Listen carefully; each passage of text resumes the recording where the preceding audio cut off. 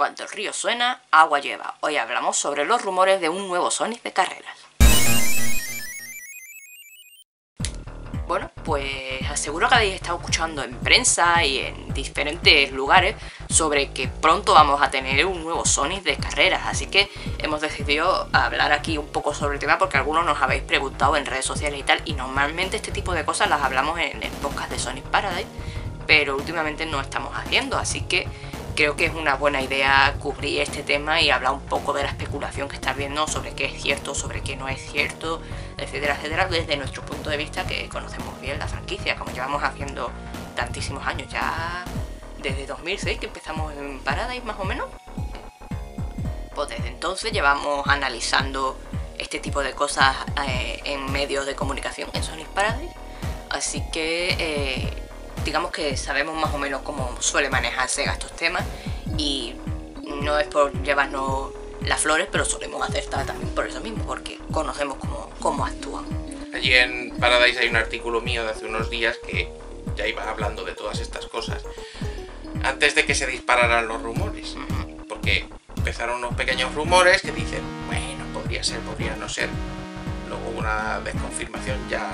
Ahora lo, lo aclaramos. Y justo puse yo el artículo y salieron más rumores. Entonces las cosas cobraron ya bastante más peso. Pero bueno, antes de meternos en materia, creo que es buena idea hacer un pequeño repaso, como me suena la barriga, hacer un pequeño repaso de lo que han sido los sones de carreras recientes para ponernos en situación y entender un poco a qué viene todo esto. Que aquí, compi Racal lo puede hacer muy bien. Que, que, lo de los Sonic de carreras no es nuevo. ¿eh? Tenemos los dos Sonic Drift de Game Gear, tenemos Sonic R y tenemos los Raiders, y nada menos que tres Raiders.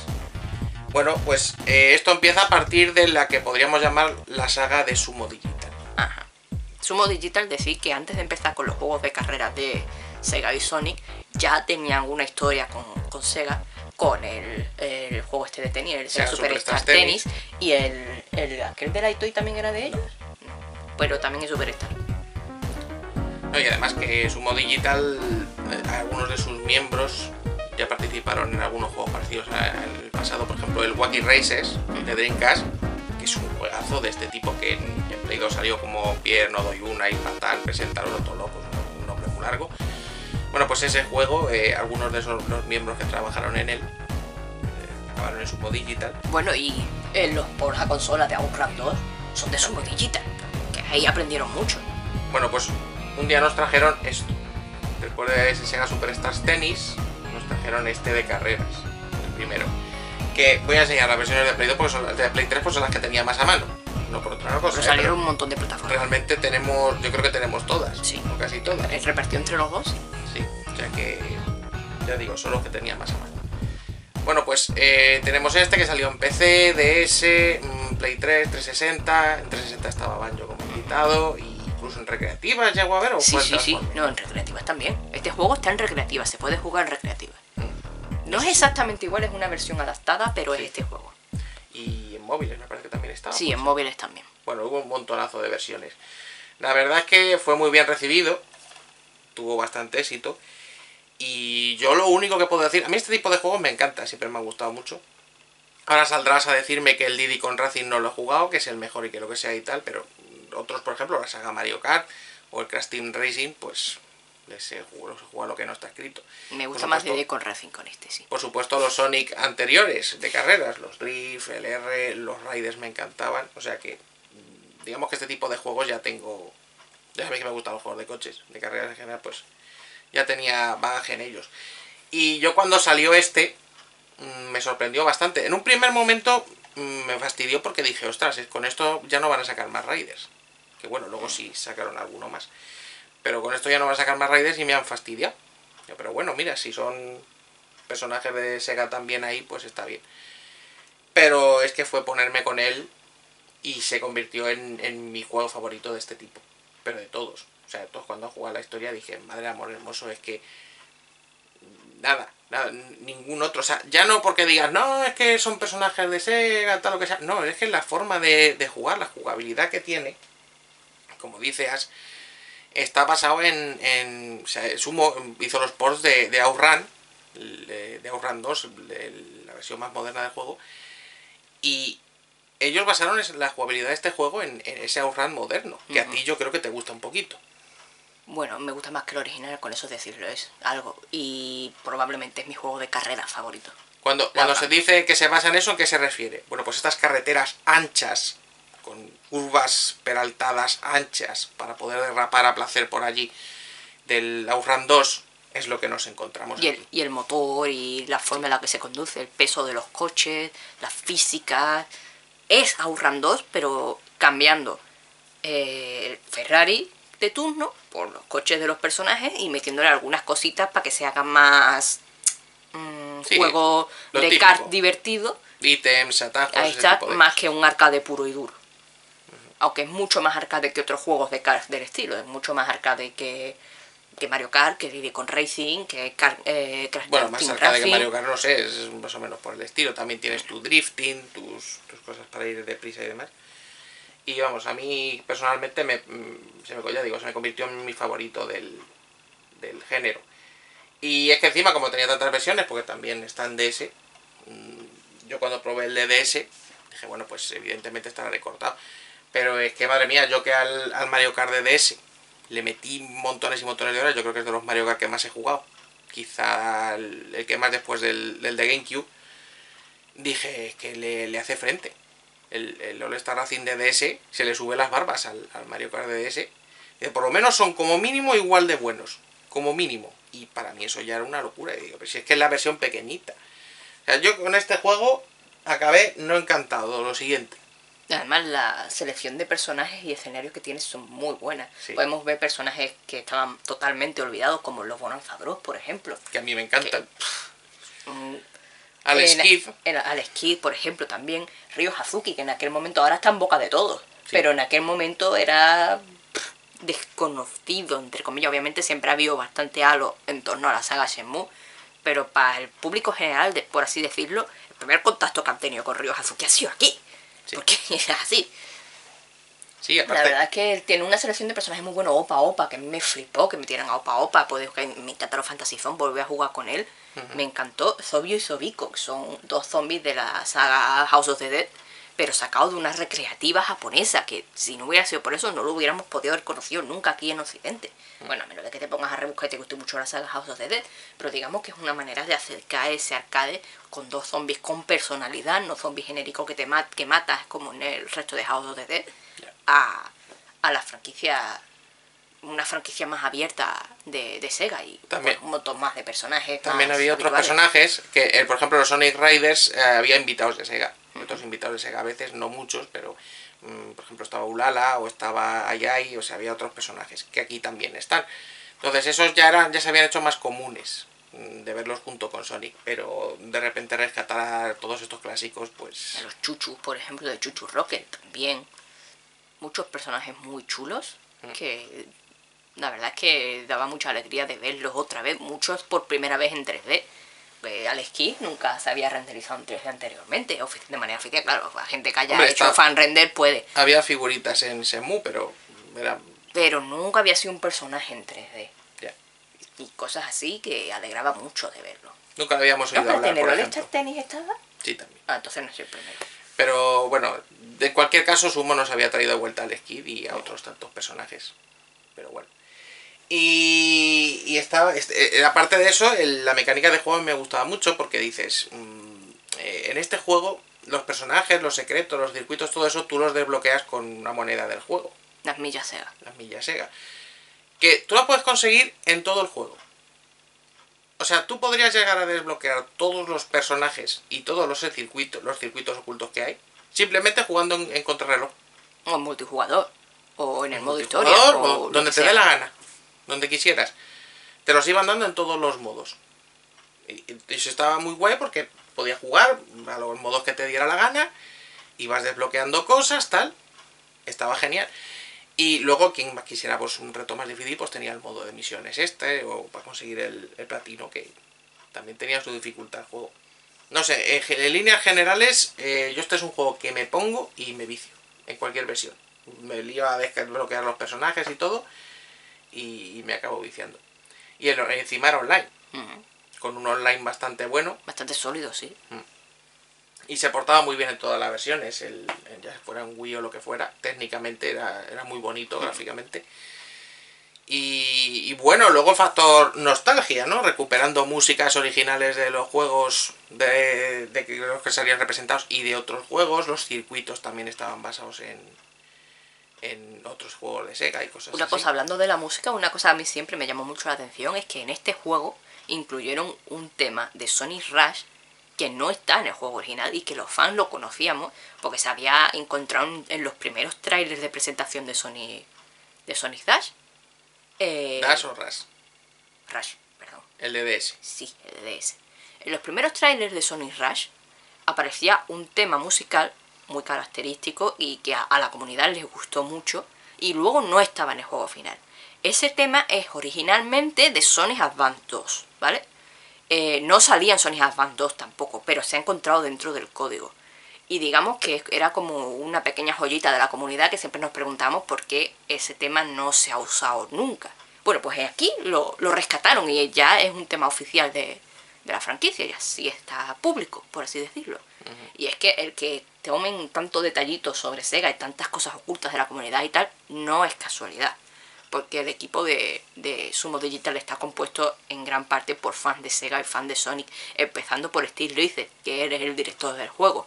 Él es muy fan de, de Sega, muy fan de Sonic, participa en la comunidad activamente y usa esos conocimientos a la hora de, de hacer no solo un muy buen juego de carreras con mucha pasión, sino que realmente es un juego de fans para fans, como Sonic Mania. Solo que estos ya eran desarrolladores profesionales antes de, de trabajar, el, digamos, que ya habían hecho muchos juegos antes y tenían un estudio consolidado. Pero se nota el amor por Sega que hay vertido en esta saga de juegos, no solo en, en el, en este primero. Y eso no suele verse tanto. Sí. No es tan habitual. Además, este juego venía a llenar un hueco importante que teníamos en, en consolas que no fueran de Nintendo porque allí evidentemente no había Mario Kart. Hay otros juegos de kart, estaba el Little Big Planet Karting, tal. No, ese creo que salió más tarde, ¿no? Sí, luego salieron otros, Estaba estaba, el Monation, Monation Eso, el Racers, Monation estaba en la época. pero no había mucho donde elegir. Tampoco había demasiado donde elegir. No, no teníamos algo, digamos, con personajes, porque, hombre, Nation Racers son personajes que te haces tú. El Little Big Planet son los Boy estos, pero igualmente son personalizables. No teníamos un juego con personajes que conociéramos de otras cosas, carismáticos y eso. Estaba Y- el, el Fórmula 1 este de Uf, los cabezones. No, no me lo recuerdes. No me acuerdo cómo se llamaba, Fórmula 1 Star. o algo Sí, así. Al Stars o algo de eso era, no sé. Ese creo que es posterior. F1 Pero vamos, Stars. sobre esta época estaba el Mosnation Racer, que estaba todo el mundo loco con el Mosnation, sí. Sí, el Pero caso, eso es, era solo de Play 3. el de caso es que este vino, vino de perlas en, en esos sistemas. Bueno, en las consolas de Nintendo dices, bueno, es que estaban los Mario Kart. O sea, su competencia, digamos, era el Mario Kart DS, que ya digo que le, le hacía frente. Y en, en Wii estaba el Mario Kart Wii. Que yo venía un poquito, antes de salir este, yo venía un poquito decepcionado con ese Mario Kart de Wii. A mí me Porque es, es bu- vale, es muy bueno, pero mm, después del de Cube, no sé, no me, no me gustó tanto. Yo venía del de Cube y del de DS, que me habían encantado. Y el de Wii no lo terminé de ver sea, Lo jugué mucho, me saqué todo y dije, "Uf, no sé, este Mario Kart no me... Está bien, está muy bien, pero no me, no me gusta tanto como los otros. Y pues mira, pues me apareció esto y dije, pues ya está, perfecto. Y no se quedaron ahí. Mm. Bueno, ya lo comentaste tú antes, pero para mí fue una alegría ver a Banjo en la versión de, Sí. de 360. Porque, oye, coño, es Banjo. Eh, yo como fan de Rare, y además después de que un tiempo después de haber salido el Baches y Cachivaches, ya como digamos que el futuro de Banjo estaba un poco en el aire, y verlo ahí otra vez fue una alegría, y más verlo acompañando a los personajes de Sony y los personajes de Sega que tanto me gustan. Para mí la verdad es que fue un regalo que Banjo estuviese ahí. Pero no iba a ser lo único, se descubrió que iba a haber más Invitados. personajes invitados secretos en el resto de versiones, pero por razones unas y otras, al final no, no se incluyeron. Sí, de hecho se hablaba de meter a Mario en las versiones de Nintendo. Pero Nintendo no quiso, no le dio permiso. Porque claro, evidentemente entraba en conflicto con Mario Kart. Pero estaba el Mi. Sí, el, el personaje El Mi personaje Mi es exclusivo de Nintendo. de la versión de Wii, poder jugar con los Mi que te hagas. Que eso está gracioso también. Que en cierto modo, es decir, cuando meten a los Mi en un juego, igual que en el Smash Bros, por ejemplo, pues es como si te metieran un editor de personajes. Con un poquito de creatividad puedes hacer ahí muchas cosas. Sea que estaba muy bien. Y probablemente en la versión de Play 3 también planteasen meter algo, pero no se ha descubierto. Mm. Pero vamos, seguro que alguien iba a meter. Mejor Boy o un personaje así más. Algo de eso, pero De al final no, no pudo ser. Pero bueno. Bueno, pasamos al siguiente. Ujú. Porque no se quedaron ahí. Uy. Dijeron, oye, pues esto ha gustado, está bien, ha tenido éxito. Sega vio que el juego había vendido aceptablemente bien.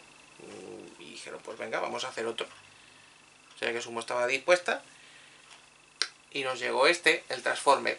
En este juego eh, se nota que ya venía sobre el éxito del anterior y metieron más presupuesto. Le metieron como quisieron hacerlo más a lo grande. Y ya se vinieron arriba con la idea de los vehículos transformables. Que para mí es un acierto enorme. que es lo que da nombre al juego. Eh, hay que tener en cuenta la complejidad técnica de hacer eso. Porque en el primero, cada personaje tenía un coche y había unas físicas para conducción y se acabó. Aquí, para cada vehículo, tenían que hacer tres versiones. La de tierra, la de aire y la de agua. Tenían que hacer que se transformara. Pues eh, mm, hace un morphing el, el vehículo. No hace de repente pop, pop. No, no. Se ve cómo se transforma. Y luego eh, adaptar esas físicas en cada circuito. Hacerle físicas de agua, físicas de aire, todo eso hubo que metérselo. Entonces todo eso les llevó bastante tiempo. Era una apuesta bastante compleja, que luego traería algunos problemas más, pero bueno, es otra cuestión. Eh, hay quien dice, no, es que eso lo copiaron del Mario Kart, del, del Mario Kart de, El 7, el de 3DS. El- que fue el primero el de que 3DS, incluyó- que es el que utilizaba el- las mecánicas estas de ir por tierra, mar y aire. No. Porque de hecho el propio Steve Lizet dijo, "Me- es que nosotros ya teníamos buena parte del juego hecho cuando anunciaron el Mario Kart 7. Y se les cayeron los cojones al suelo. Y, y lo vieron y dijeron, jolín, han hecho lo mismo que nosotros. ¿Qué Es, decir, es que físicamente es imposible porque desde... No dicen, no, es que mintió, jaja, qué gracioso. No, no. Físicamente es imposible porque desde que se anunció el Mario Kart 7 hasta que salió este era imposible haber hecho el juego entero. Mm. O sea, es verdad que lo tenían hecho. De hecho, sí que es verdad que está un poco copiado de algo Pero no de Mario Kart. pero no de Mario Kart. Eh, hay un juego de los Hot Wheels para PlayStation que no es el Turbo Racing, porque el Turbo Racing lo tengo yo. Hay dos, no me acuerdo cuál es el nombre del segundo, pero el Turbo Racing no es porque ese, ese, ese sí lo tengo yo. Es el segundo, el siguiente a ese.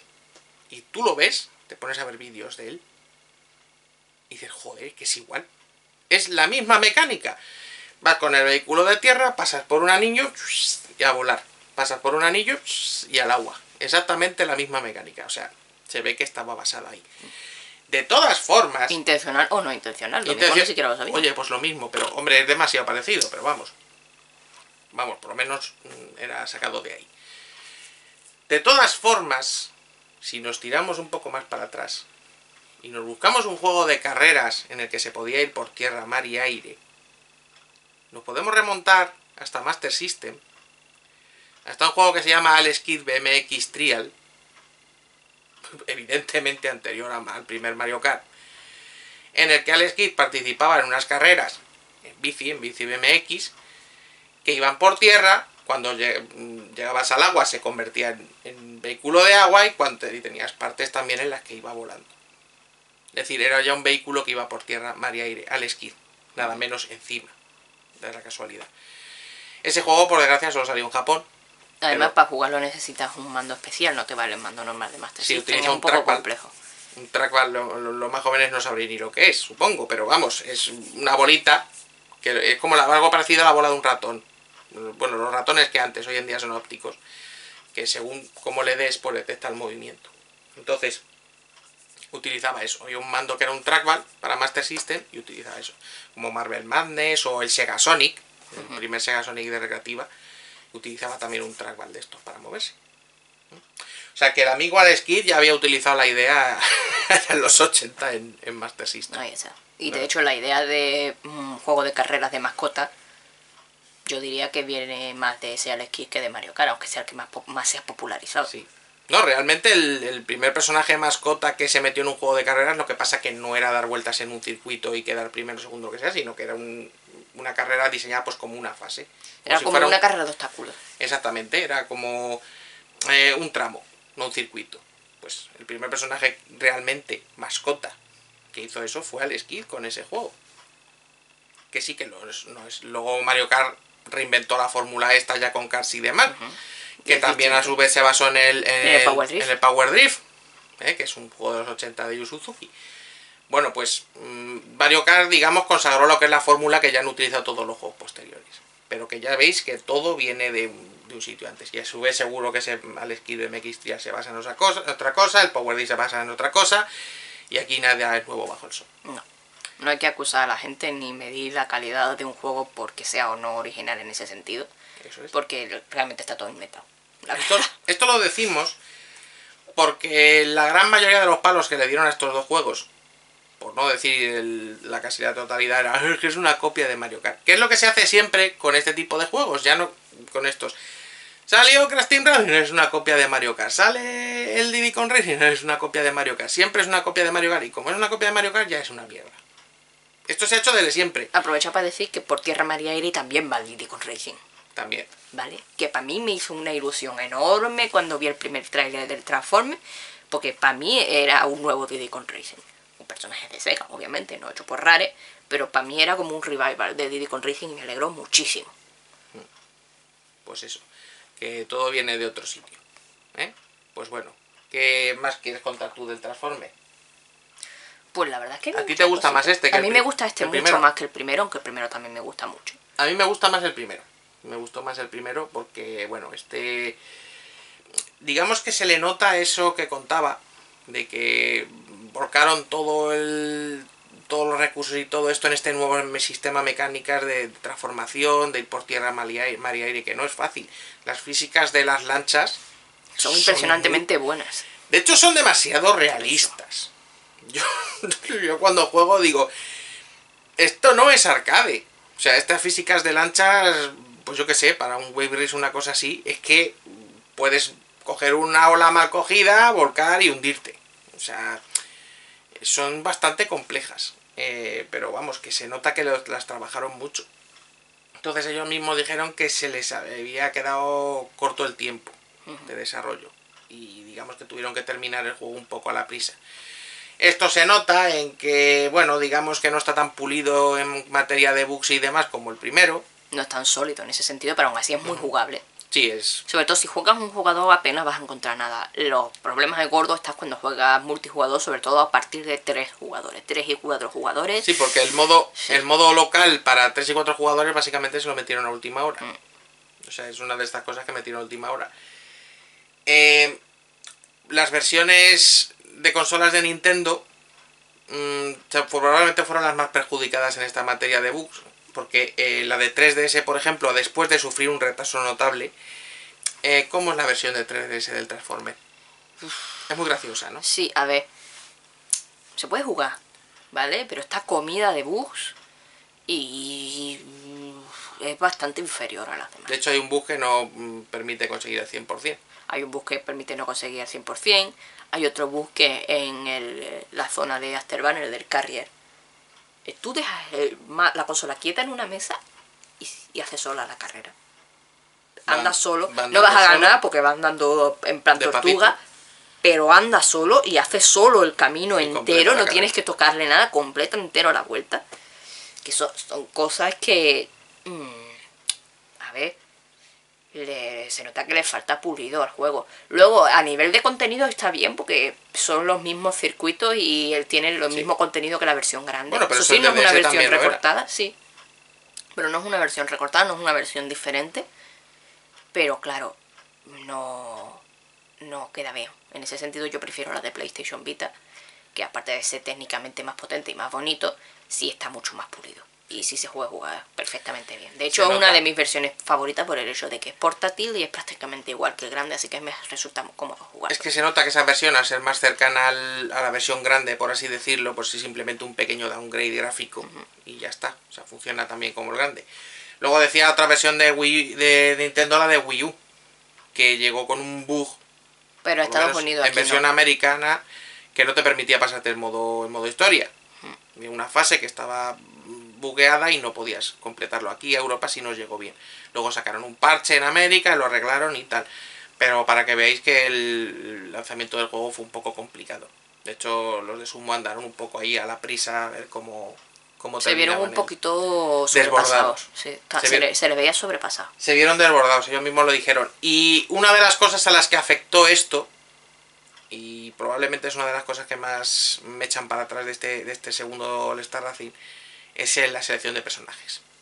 Ellos mismos dijeron que algunos de los personajes los tuvieron que hacer a la prisa, a última hora, En su Mm, tiempo libre. en su tiempo libre. O sea, no estamos hablando ya de que ellos vayan a trabajar ocho horas al día y ya está. No. Viendo que ya les pillaba el toro, se quedaban más horas en, en el trabajo haciendo cosas mm, del juego eh, sin cobrar para poder tenerlo pulido. Y ahí es donde salieron algunos de estos personajes que son clónicos, básicamente, como Reala. Reala es un clon de Knights. Eh, Mimi es un clon de Ayai. Metieron a Gum, que es un clon de, de, de Beat. Metieron a, a Pudding, que es un clon de Ulala. Esos personajes que tú los ves y dices. Este no tiene el mismo cuidado que este otro. De como los clones de Smash Bros. Algo así. Pero es que encima son personajes mm, que dices, ¿me, me quitas a Ryo Hazuki para ponerme a Mimi? Eh, no sé, a lo mejor un fan de Super Monkey Ball está muy contento, pero... Pff, En serio. O sea, son personajes como que no tenían que luchar mucho con licencias para meterlos y demás, y pues venga, vamos a meterlos para rellenar. Luego encima, eh, bueno, ya en la versión de PC, Metieron muchos personajes que no están en las versiones de consola. que por lo visto eran petición de Sega. Por ejemplo, el de Ma- Football Manager, que Sí. básicamente es un entrenador de fútbol con una pelota de fútbol en la cabeza. El de Total, El de War, Total War, también. que es un samurái básicamente. Porque sí, o sea, todos son personajes en plan eh, Son personajes Random. para publicitar los juegos de PC. de PC de Sega. Exactamente. Y dices, pero ¿esto qué es? Lo- los de Company of Heroes también. Hmm. Son así soldadetes. Sí, bueno, luego metieron el, el cameo este de Team Fortress también. Eso, bueno, eso a los También, peceros. eso está bien. Eso sí les habrá gustado a los Eso peceros. está bien. En, en consola, por ejemplo, metieron de invitado a Ralph, el de la peli Romper Ralph, que eh, a mí ese, bueno, yo diría que es el banjo de esta versión, es un Sí, yo invitado se lo que veo bien. encaja bien, Sonic sale, sale en la película y dices, bueno, además está en todas las versiones. Además hubo mucho mucha sinergia entre Romper Ralph la película o Ralph el Demolidor, como lo conoceréis en Latinoamérica, y este juego porque como Sonic hacía presencia en la película y además se le publicitó bastante, más que a otros personajes, que hay personajes que tienen más importancia en la película, como Qbert, por ejemplo, y no se le dio apenas eh, movimiento de marketing a Qbert. A Sonic sí, Sonic tiene un póster para él solo de la película. Sonic, eh, to- casi todos los trailers Sale metían en la el escena de Sonic. sale él. Sale en el póster principal, pero en el póster principal salen más personajes. Se- Realmente, Se, buscó al actor de doblaje de, de Sonic, eh, de las primeras series de Sonic, aquí en España. aquí en España, para la pequeña secuencia en la que sale, que dice algo de fondo y que apenas se le oye, se buscó al actor de doblaje original de Sonic. O sea, para que veáis el cuidado que se le puso. Bueno, y en Estados Unidos lo, lo dobló Roger Crishenbeck, que es el doblado de Sonic de los juegos habituales. En general hubo un, un foco bastante grande en Sonic en la película y eso a mí personalmente me resultó un poco decepcionante porque luego en la película apenas sale y no tiene ninguna importancia. Pero a nivel de marketing te hicieron creer Bueno. prácticamente que iba a ser una película de Sonic con Ralph, Bueno, Ralph, decirlo. Ralph allí era perfecto, porque la propia película va de eso, de personajes que se cruzan de unos juegos a otros. Sale Sugar Rush, que es un juego de este tipo precisamente, de carreras así. Entonces dices, oye, pues es perfecto, es que encaja como si se hubiera colado de la película a este juego ahí, con que mezcla personajes de distintos universos de Sega. O sea, yo ahí no puedo poner la menor pega porque encajaba perfectamente. De hecho, a lo mejor habría preferido algún personaje más de la peli, como Vanellope. Pero eso es otra cuestión, que queda muy bien. Ahí, pero bueno, digamos que no todos los invitados fueron tan acertados. Sí, ¿no? bueno, está tu, tu amiga. En fin. Eh, bueno, pues eh, la señora Danica Patrick, que mm, hay gente que cree que es un personaje de Sega. Hay mucha gente que cree que es un personaje de Sega. O que es un personaje de juegos. Sí, es que También. siquiera un personaje de juegos, no. Eh, Danica Patrick es un piloto de la NASCAR, Real. real. Es como si meten a Fernando Alonso allí en el juego, juego que por cierto ahora se ha ido a la NASCAR, pues es como si le meten ahí en el juego. ¿Qué pinta ahí esta señora?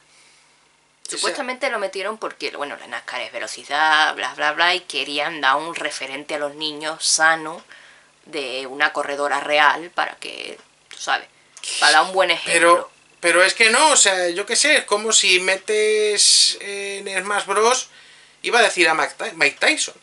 Bueno, pero Mike es que Tyson eso, todavía. por lo menos es, un, es más, más famoso. No, pero- no solo que sea más famoso, es que el Punch Out se supone que está basado en Mike Tyson. Bueno, de pues- hecho, el juego original se llama Mike Tyson Featuring Pues Punch Out. también, es que incluso dentro de la NASCAR tampoco es que sea precisamente uno de los pilotos con más renombre. Entonces, no sé, es que, es que- pero es que el problema es encima cómo lo presentaron. A ti eso te fastidió muchísimo. Muchísimo, o sea, eh, vosotros me decís a mí, ay, cuando anunciaron Resident 7... el-". No lo viste y cuando Pues no, eso. yo creo que fue peor cuando, cuando lo de Danica Patrick. Porque el problema es que Sega eh, fue en el E3, si no recuerdo mal, Fue en el E3. Encima, es que es, que es eso. Eh, Sega dijo que iba a presentar un personaje que la gente iba a alucinar con él. Evidentemente, pues todo el que es fan dice, van a meter a alguien gordo de Sega. Como es lógico, porque es que lo dijeron, vais a flipar los fans con este personaje. Vale. Va a ser alguien notable, algo importante, algo que no te esperas y que te va a sorprender. Que además hay que decir que Sega en el E3 no suele hacer nunca nada. No. Siempre suele hacer eventos aparte por fechas cercanas al E3 donde enseñan sus cosas. Como por ejemplo las fiestas estas de Sonic Boom, Sí. o las fiestas de 25 aniversario de Sonic, ese tipo de cosas. Ahí es donde suelen enseñar sus cosas.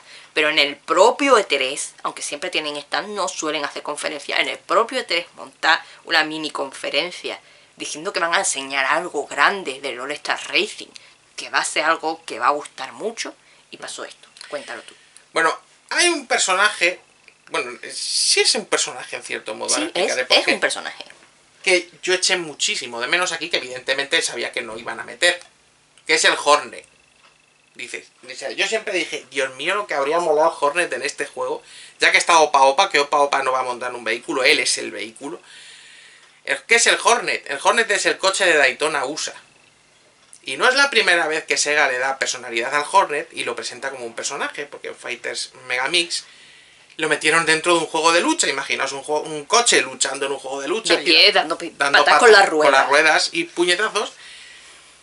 Dices, uff, qué bien habría quedado en este juego el, el, el- el Hornet ahí corriendo. Yo siempre estaba con, con esa idea ahí de, uff, qué bien habría quedado aquí en el, en el juego. A ver si lo meten en el segundo. Claro, viene Sega y dice, vais a flipar, vamos a meter un personaje que os va a gustar mucho.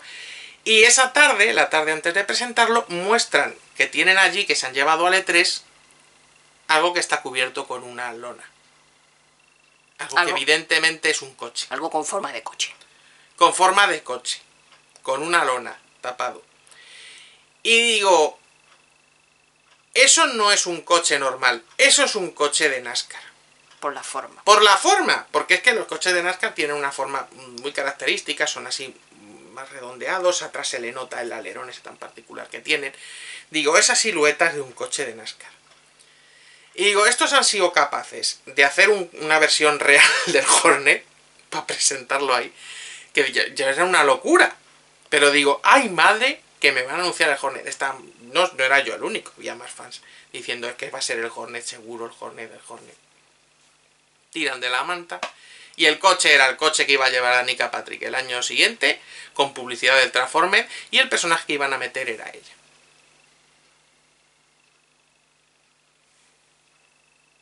Yo creo que esa es de las veces que más me he cagado en Sega en mi vida.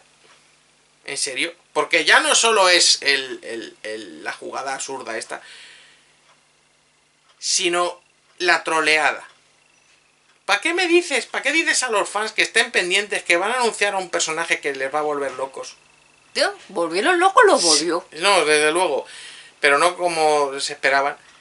Para presentar a una señora que ni siquiera es un personaje de un juego. Hay que decir que ha aparecido en juegos, por ejemplo, eh, dio su voz para los, los Need for Speed Underground Bueno, pero y claro, pero- pero- Ha puesto voz en algunos juegos, Pero pero, que- no ella como Pero que un piloto real salga en un juego de coches o preste su voz es normal y habitual y ha pasado toda la vida. Pero aquí. Entonces fue como una patada ahí mismo. Y dije, es que no solo nos quedamos sin Hornet, sino que encima meten esto. ¿Y para qué? Porque la, la jugada comercial no estaba demasiado clara. No parecía que el Transformers fuera a vender muchas más copias por, por ponerla ahí, ahí. Y luego, luego, sobre todo, decir, Dios mío, lo que se habrá gastado Sega en publicidad para hacer esto. Porque patrocinar un equipo de la NASCAR no es precisamente barato. Y esta señora no, no va a hacer esto gratis, evidentemente. ¿Eh? Habrá cobrado una pasta por publicidad ahí. Y yo digo, pues es que yo no sé qué parte de público objetivo de la NASCAR va a haber entre la gente que vaya a comprar el juego. Luego está el hecho de, el hecho de que sea la NASCAR en sí. Mm. Que la NASCAR, digamos, tiene seguimiento en Estados Unidos. Encima Ya eso. está. En el resto del mundo, hombre, no quiero decir que no exista un solo fan de la NASCAR en el resto Sí, del mundo. pero que Hay, no es- Pero es muy, muy, muy, muy minoritario. no es, no es algo tan internacional. Entonces dices, ¿pero esto qué es? ¿Pero qué habéis hecho? Y encima ya se estaba diciendo que eh, estaban teniendo problemas de desarrollo para terminarlo. Ya es que estaban yendo a la prisa y dices, Dios mío, te gastas un, un dineral del presupuesto del juego en marketing para meter a esta señora. Cuando te están diciendo que están pidiendo más tiempo de desarrollo y no se lo están dando. Que luego por eso tuvimos los problemas que tuvimos. Bueno, o sea, Hombre, los presupuestos de marketing y de desarrollo van por separado. sí, Pero siempre puedes quitar parte del dinero que tienes destinado a marketing. Eso es. Para desarrollo o, si quieres seguir destinándolo a marketing, destinado a un marketing efectivo. efectivamente. Algo que tenga más presencia. Eso es. Pero es Como que, lo de Roperral, por ejemplo, que creo que ayudó bastante. sí, es que encima también tienes que tener en cuenta que meter un personaje así en un juego no es fácil. A lo mejor un personaje, pues como Knights, te lo meten en el juego en, yo que sé, en dos días o tres o lo que sea. Una semana, vamos a poner una semana. Para meter a Danica Patrick no estuvieron una semana. Estuvieron mucho más porque encima el coche que lleva es un coche diseñado por ella, es como el coche diseñado por Homer Simpson. De Hot Wheels, además. encima de Hot Wheels, también tenían que andar moviendo licencias a saber lo que cobraría Hot Wheels por- o lo que fuera. Pero es un coche diseñado por ella que evidentemente hubo que recibir sus diseños, adaptarlo al juego, modelarlo, todo el rollo, mm, escanearle a ella la cara, ponerla en el juego. Si probablemente un, personaje normal de juego les lleva una semana, a lo mejor meterla a ella les llevo dos meses. Un mes, como mínimo. Entonces dices, me estás quitando tiempo de desarrollo para otros personajes que tendría más sentido para meterla a ella. Que era un sinsentido. Y bueno, luego ya encima, en PC, terminaron de hacer la gracia con el señor youtuber este, Josca- Joscast. el Joscas este. Es- eso es un podcast de juegos que en aquel momento era muy famoso, muy, muy famoso. Que En aquel momento. En aquel momento. Hicieron, la verdad es que dentro de lo que cabe no estaba mal en el sentido de que lo hicieron como algo para la caridad. Sí, pero Diseñaron ahora- al ahora personaje y, y lo metieron dentro del juego como DLC extra que había que pagar extra exclusivo de la versión de PC y que todo el dinero destinado, eh, todo el Ganado dinero ganado con la la, venta de este de personaje. este DLC de este personaje concreto iba a estar destinado a obras de caridad. Vale. El principio es bueno, la base es buena. El problema es este youtuber en concreto. Bueno, Pero- youtuber, pero- es que hacían un podcast que también lo subían a YouTube y bueno, fa- personalidad de internet, dejémoslo ahí. Es que imaginaos que meten a Sassel en un Mario Kart. Decir, eh, hay que decir que es una personalidad que era en aquel O momento bastante Rubius, o polémica youtuber. Y que además no solía tratar bastante bien a Sega. Encima eso, encima eso, coges a alguien precisamente, porque bueno, pues si hubiera sido Sassel, por lo menos no creo que eh, hubiera dicho nada. Él hubiera estado encantado. Él encantado, vamos. Pero encima metes a un tío que está todo el día dándole pal pelo a Sega. Pero que mueve mucha Sega. gente. Pero dices, venga, vale, sí, es que es porque es caricativo. Pero por amor de Dios, vamos a usar un poco la cabeza. A mí me viene Sega, a mí, a mí. Y me dice, mira, vamos a ponerte a ti en el juego para mm, recaudar todo lo que se saque va a ir a beneficencia. Digo, pero sois tontos. A mí. Que dices que, que- qué ilusión le haría a este hombre salir en un juego de Sega. Digo, pero sois tontos. ¿Cómo coño me vais a poner a mí? Poner un personaje que quiere la gente. Que así se lo comprará más gente. Hombre, yo no sé si hay tanta gente que quiere, por ejemplo, a Río, que era el que pedía la gente en aquel momento, como Al a que gente sea. a la que hubiera vendido si hubieras metido Al DLC. que sea, pones a un personaje de Sonic, que sabes que va a vender un montón. Poner al personaje que más sepáis que va a vender. Pero poner un personaje que te está pidiendo la gente, un personaje de Sega. No pongáis a mí que me, me van a bajar cuatro locos. ¿Me entiendes? Yo creo que es más lógico así, ¿no? O sea, ¿y vais a sacar mucho más dinero para recaudar? Pues no. Pusieron a este señor en el juego. Que luego además tuvo un montón de polémica y dejaron de hacer sus programas y tal. Porque hicieron un Kickstarter para hacer su propio juego. Y pasó el tiempo, se llevaron el dinero y nunca se hicieron el juego. Bueno, eso ya son otras cuestiones. La cuestión es que para cerrar todo este mm, esta eh, serie de despropósitos, llegó Sumo y dijo, Dios mío, vamos a intentar arreglar esto. Y ellos, con toda su buena intención del mundo, hicieron a Ryo Hazuki, que lo pedía muchísimo la gente, que estaba en el primero de esta Racing, montado en la recreativa de Aurran. Algo jodidamente épico, ¿vale? Encima la, la recreativa, la matrícula ponía Senmu 3. En fin, pues... Se podía ver como una especie de guiño, porque realmente después, al tiempo, se anunció Senmu 3. Sí. Pues era algo jodidamente épico. ¿Y qué, qué pasó con esto? Que ellos intentaron por todos los medios que le dejaran sacarlo en todas las versiones y Sega dijo que no, que solo se quedaba en PC. Y la versión de móviles. Y móviles. Así que ninguna versión de consolas tiene Ryo Hazuki. Es decir, las plataformas que no cobran por subir una actualización. Porque las versiones de consola, para poder subir una actualización, un DLC, hay que pagarle a Sony, Microsoft, Nintendo, lo que sea. Es decir, para pagarle a, Danica Patrick, a su equipo de NASCAR y a Hot Wheels una millonada, por, una millonada y media, porque saber el dinero que se han llevado. Lo de Hot Wheels, aclaras lo que es, porque el coche diseñado por Danica Patrick lo diseñó para Hot Wheels. Salió la figurita de Hot Wheels hace una tierra de años y cogieron el coche diseñado por Danica Patrick para meterlo en el juego. No porque sí, ahora vamos a darle dinero a Hot Wheels. eso es, eso es. Para eso sí. Para. Eh, porque la campaña está con el youtuber de beneficencia, no les debió salir tampoco gratis. Para eso sí. Pero para pagar la actualización para meter a Ryo Hazuki en las versiones de consolas, no.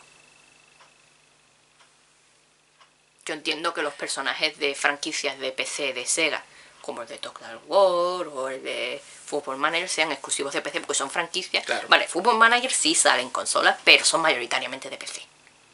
El 99% de la gente que lo juega juega en PC. Lo entiendo. Quieren promocionar sus sagas de PC porque después de todo, este clase de juegos, por mucho que a nosotros nos guste lo como fans y tal, no son más que eh, mm, cebos para que la gente se encariñe con franquicias en las que normalmente no jugarían y después compren los juegos de esas licencias. Entonces, obviamente, eh, si estos juegos son prácticamente exclusivos de PC, lo suyo es que el cebo lo ponga en la versión de PC. El caso es que, en fin, ya podéis ver mi, desasosiego con el roster de personajes del Transformer, porque es que luego encima mm, quitaron un montón de personajes del anterior, ya no estaba Opa Opa, no estaba Alex Kidd, y digo estaba porque Alex Kidd estaba escondido en el juego y se activaba en Navidades. Sí, eso la verdad que fue una cosa bonita. Sí. En, tú, eh, cuando llegaba el 24 de diciembre, ¡pum! aparecía Alex Kidd allí en el... Sorpresa Alex Kidd, por regalo navideño. Sí, pero es que es lo que digo. Y eh, dice, vale, me metes al esquid otra vez. Pero es que al esquid en el anterior iba montado en la Sucopaco, en su moto. Y cuando utilizaba el All-Star, eh, se montaba en el peticóptero, en el que llevaban en el esquid en, en Miracle World, que Dios mío, hasta el disparo sonaba igual. Tú ibas en el peticóptero con la música del esquí sonando a toda leche, disparando con el peticóptero a los otros corredores que sonaba igual, exactamente el mismo efecto de sonido. Eso era un fangasmo. Pero aquí sí te meten al esquí, pero va en un helicóptero mutante genérico que se transforma. Que no está sacado de ningún juego. Bueno, en coche, en el suelo. Para que decir que en este, los personajes que en el primero iban en moto, en este no pueden ir en moto por eh, razones técnicas, claro que por el tema de las transformaciones y tal, tenían que hacer que el hitbox de todos los personajes fuese el mismo, y por eso ya los personajes que llevaban vehículos más alternativos en los anteriores, como por ejemplo Shadow que iba en, moto, en este va en un tanque, o por ejemplo Alex Kidd ahora va en un coche, todos tienen unos vehículos similares, unas formas parecidas. Eso es. Bueno, pues... Eh que dices, mira Alex Kidd, lo que estábamos hablando antes del, del BMX Trial que ya iba por tierra, mar y aire, podría haber sido una buena ocasión para meter esto. Pero claro, como no puedes meter motos, tampoco puedes meter bicis. Entonces, pues, toma helicóptero genérico raro que no sabe de Por eso solo para el aire. En tierra iba con un cochecito. No, era como una mm, especie de cacharro con ruedas. Está, como que era lo que se convertía Que no, por Dios. Knights. Con todo lo que pedimos a Knights en el primero el Star Racing. Y aquí lo meten. y Dices, vale, la idea de que el vehículo sea Knights tiene sentido porque Knights se transforma en cosas, en, en el juegos. segundo juego, en el primero no tanto, ¿no? Bueno, sí, se transforma en pez y cosas así. Pero dices, bueno, vale, que sea Knights el coche y el conductor un Nightopian, bueno. Pero el diseño era atroz. Por Dios, la color de punk que tenía Knights. Parecía un tiburón. No, ¿Ese diseño no venía del segundo, el Journey of Dream? Yo es que no me lo he pasado. Pregunto. Creo que, Que no, me suena que de no, puñeta, se época. transformaba en cosas, pero el coche lo hicieron para eso. Y dices, pero es que no, es que es- no, no. Gilius, también el de Golden Axe, el enano de Golden Axe, también iba a estar en el primero, lo Se encontraron, el, el código está ahí. De hecho, de aquí le mando un saludo a nuestro amigo Daguar, que él fue, bueno, seguramente hubo más gente, pero él se encargó de, de rebuscar en el código y de descubrió muchos de estos personajes. Sí. Tiene, de hecho, tiene su canal por ahí en YouTube, os pondré un enlace por aquí. No suele subir muchas cosas, pero cuando subes cosas son canelas finas, ¿eh? Hace unos descubrimientos de la leche, eh, hace unos mods buenísimos y también hacía YouTube Pub en la época, así que Sí. tenéis de todo en su canal para rebuscar y divertiros con sus cosas. Eso es. Es un tío de puta madre, ¿eh? Bueno, pues eh, eh, aparecieron allí los restos de Gilius, que no les debió dar tiempo para el anterior o lo que fuera. Pues aquí lo metieron, pero es que va a montar como una tortuga, luego no sé qué.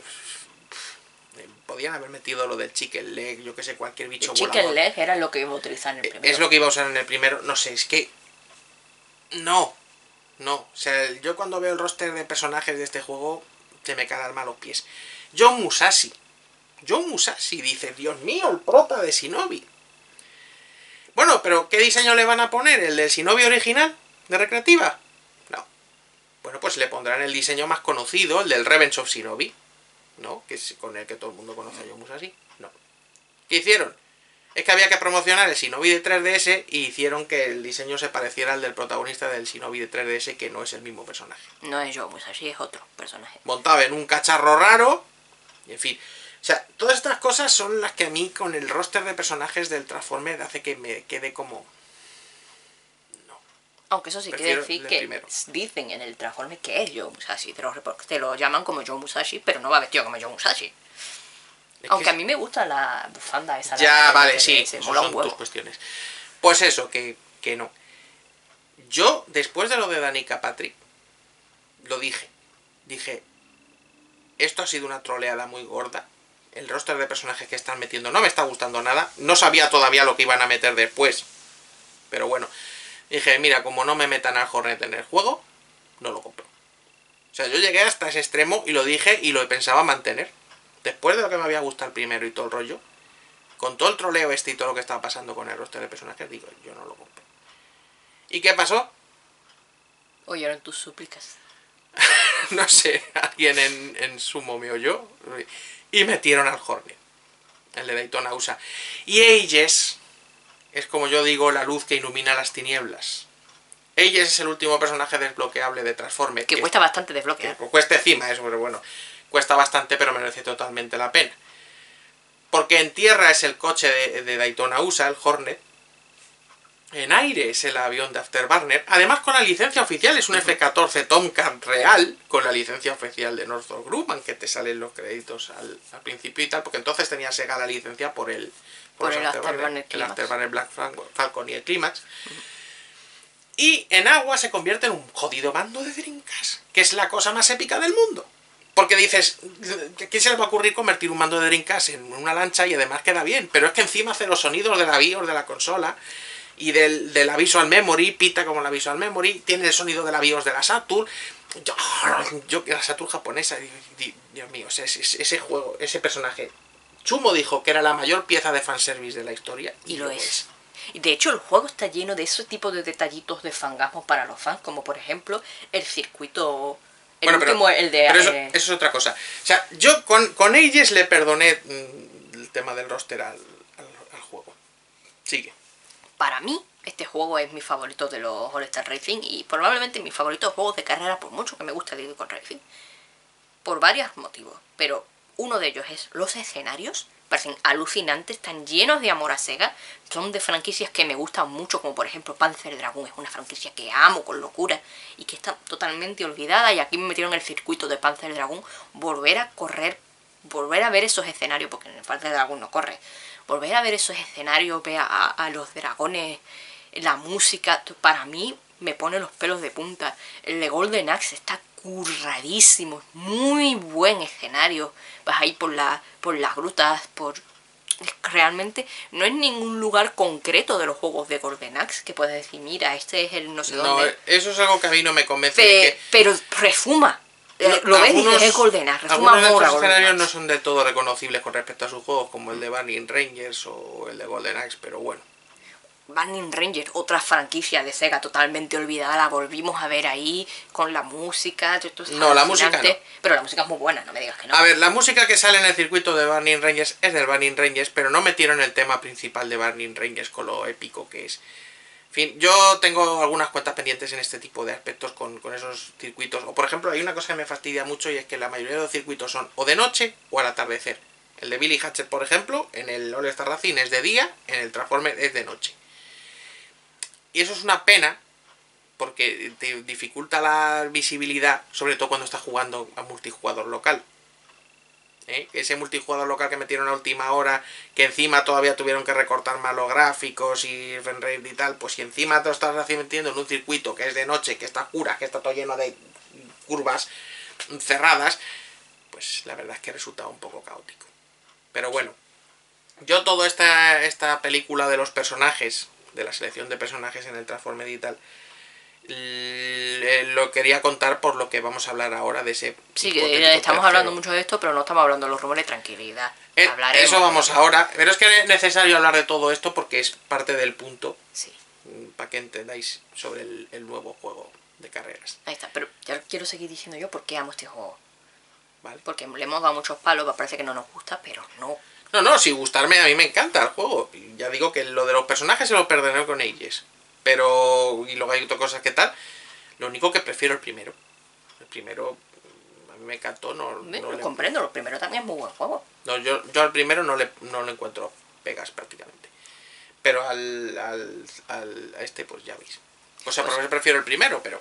Sí, A mí, los escenarios, eso estaba diciendo que me flipa el de Golden Axe, me flipa, el de Burning Rangers me flipa, pero para mí hay dos escenarios que me, me tocan directamente así con el dedo en el corazoncito. Uno es, eh, la zona del portaaviones, el Cavalier Zone de Afterbanner, que es que, nada más pensarlo, se me ponen los pelos de la nuca de punta, ¿vale? Amo Afterbanner, es uno de mis cinco juegos favoritos en la historia. de Y- hecho nos peleamos por ver quién lleva a Aegis, porque yo quiero llevar al Hornet y ella quiere llevar al. entonces al yo cojo a Danica Patrick para joderle. Y eso. Amo esa zona, o volver a oír la, la música de Afterbanner. Además que están remixeadas las- los dos temas más conocidos de- del juego. Y precisamente uno se llama Afterbanner y el otro se llama, no me acuerdo, pero alucinante también. Y es un circuito que vas mayoritariamente volando que para mí eso ya es mucho porque amo los juegos de aviones, amo los arcades de vuelo, los shoot up en tercera persona, los juegos tipo Star Fox, tipo eh, de este tipo. Este tipo, tipo, tipo de este tipo. Esa Sí, es que no me acuerdo cómo se llama el otro, coño. Bueno, hay muchos juegos. Hyperphone, por ejemplo, ahora los cubierto en Super Nintendo que me encanta. El Viewpoint ese de 64 cancelado que iba a ser de ese tipo está cancelado, no lo he podido jugar, pero Vale, jode mucho no poder jugarlo. Se entiende, que te gusta. El, el Galaxy Force, Ya ese está. tipo de juegos me encantan, ¿vale? Y, y prácticamente que todo el circuito sea volando en un circuito de Afterbanner, volviendo a escuchar la música de Afterbanner, para mí es un fangasmo absoluto. Y luego está el último circuito. Que no me acuerdo cómo se llama, estoy de la memoria. El de este, el de. El de Space Harrier, ¿vale? ¿Sabes a cuál me estoy refiriendo? Estoy fatal de la memoria. Sí, ¿Cómo se llamaba? era... Yo es que le digo el pero es circuito que- de, de, de Space Harrier y ya está. Ah, el de Space Harrier pues será el último. El último, el de Eh, Aegis. Sí, sí. El circuito de Aegis. Es, es un- una carrera, sale digamos que es... De los eh, hologramas. el de los hologramas. Sí, es. Es el- la, la ruta arcoiris, entre comillas. Senda arcoíris. se- como se llame, senda arcoiris del, de este juego. Es un circuito que va casi todo el tiempo con el coche, pero también hay algunas partes de avión. Por suerte no hay ninguna de barco. ¿O sí? Sí, sí hay una de barco, sí. Sí hay parte de barco. La cosa que va casi todo Sí. el tiempo volando y, o corriendo, que son las dos jugabilidades que más me gustan del juego. En escenario, digamos, sin barrera, que te puedes caer y tal, en una zona con un montón de hologramas de la historia de Sega, de consolas de Sega, personajes clásicos de Sega, escuchando de fondo la, la música, un remix Space épico Harrier. de Space Harrier. Que el circuito no es de Space Harrier, como ella dice. Se Yo le llama digo así Race of Ages. Eso, Race of Ages se llama. que es- está lleno de elementos de guiños a Sega Ahí por está, todas partes, así constante. como holográfico y tal, sale a lo mejor una satura holográfica dando vueltas, cosas así, que la verdad que es bastante épico el, el circuito. Pero ella lo llama el circuito de Harrier. ¿Por qué suena Harrier? Es que yo lo, yo lo digo por la música, quiero que te diga. Si para mí lo más importante de todos los juegos es la música, para mí los circuitos son como se llama el tema. Vale. Eso es así. Yo Pues que soy así, ¿vale? Y bueno, me encanta. Y sobre todo hay un pequeño detallito en ese circuito que también me tocó mucho, me toca el cocoro, como digo yo. Y es Segata Sanshiro.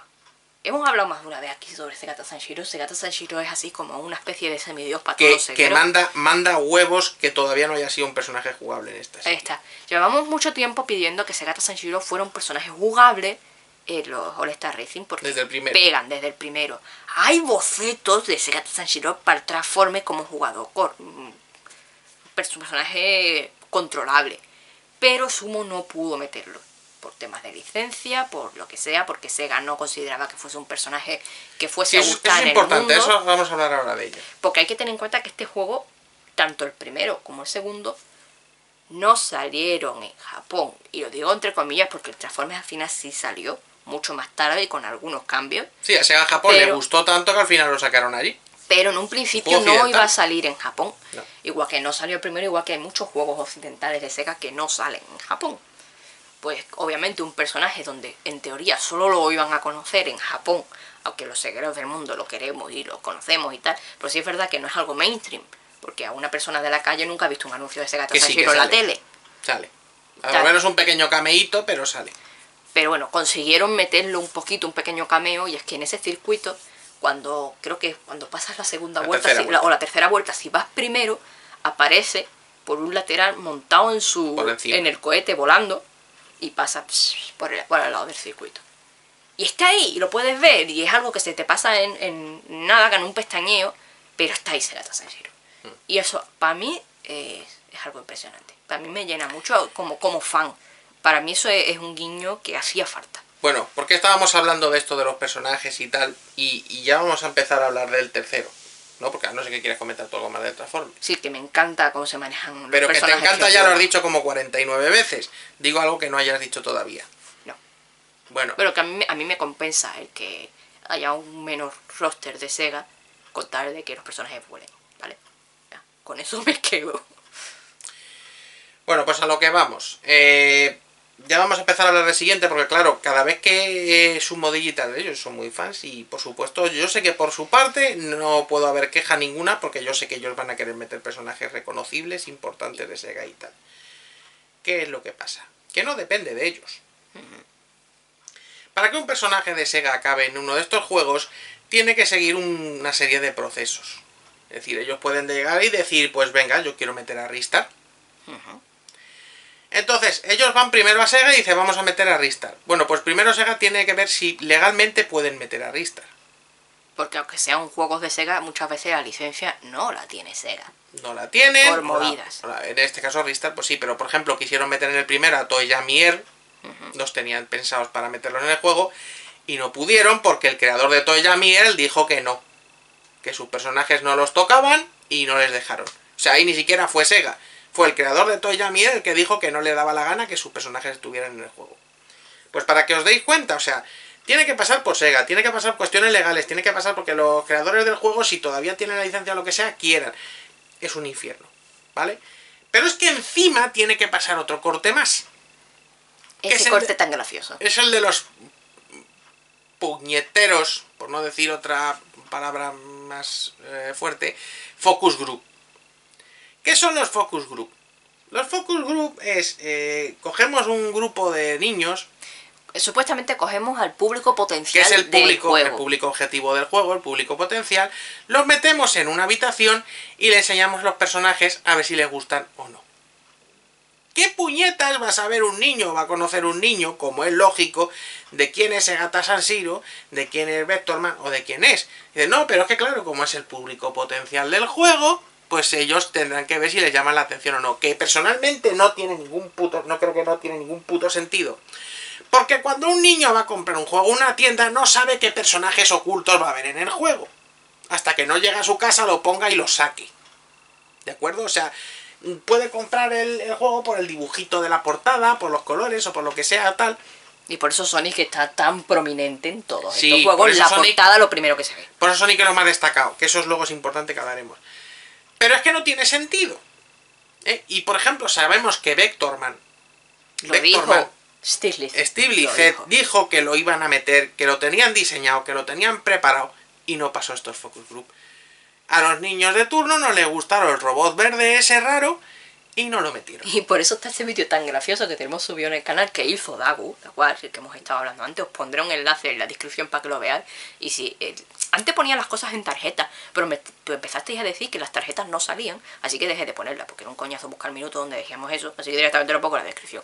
Pero bueno, eh, eh, hay un vídeo muy divertido de cuando salió esta polémica que hizo Daguar. No sé si os acordáis del anuncio aquel de Vodafone de que subían tus contactos en la nube para que no hubiera ningún problema y no los perdieras y tal. Pues una parodia de ese anuncio es una parodia de con, ese anuncio. con esto. Os lo dejaré para que lo veáis porque es descacharrante. Recomendate verlo. Recomendable verlo. Además es que es gracioso, pero además es verdad. es o sea, verdad, tiene- es gracioso porque es verdad. Porque es que encima es lo que pasa. O sea, eh, no pasa estos focus group el personaje y no se pone en el juego. Entonces, yo viendo estos procesos y, y viendo la selección de personajes del Transformer y viendo lo que hace falta para que un personaje de Sega llegue al juego o no, yo llego a una conclusión que afecta a este nuevo juego. Y esa es lo que vamos a empezar a hablar ahora de él.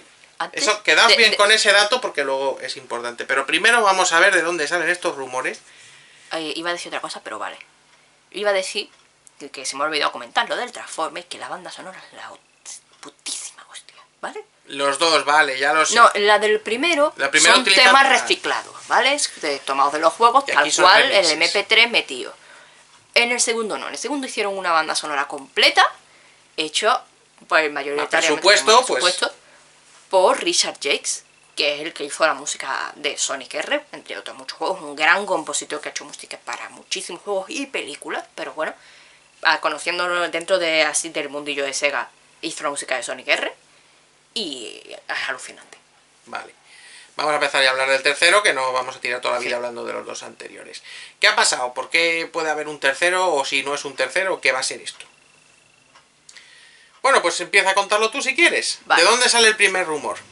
A ver, siempre ha habido ciertos rumores y cierta cosa porque Sumo Digital, sobre todo este Steve Laser, hemos dicho, está en contacto con la comunidad, La gente- habla con la gente, Y la gente lo pide mucho. y la gente lo pide mucho y él habla mucho de esto y suele comentar en foros, incluso a gente en privado y tal, comentarle lo que pasa con estos juegos.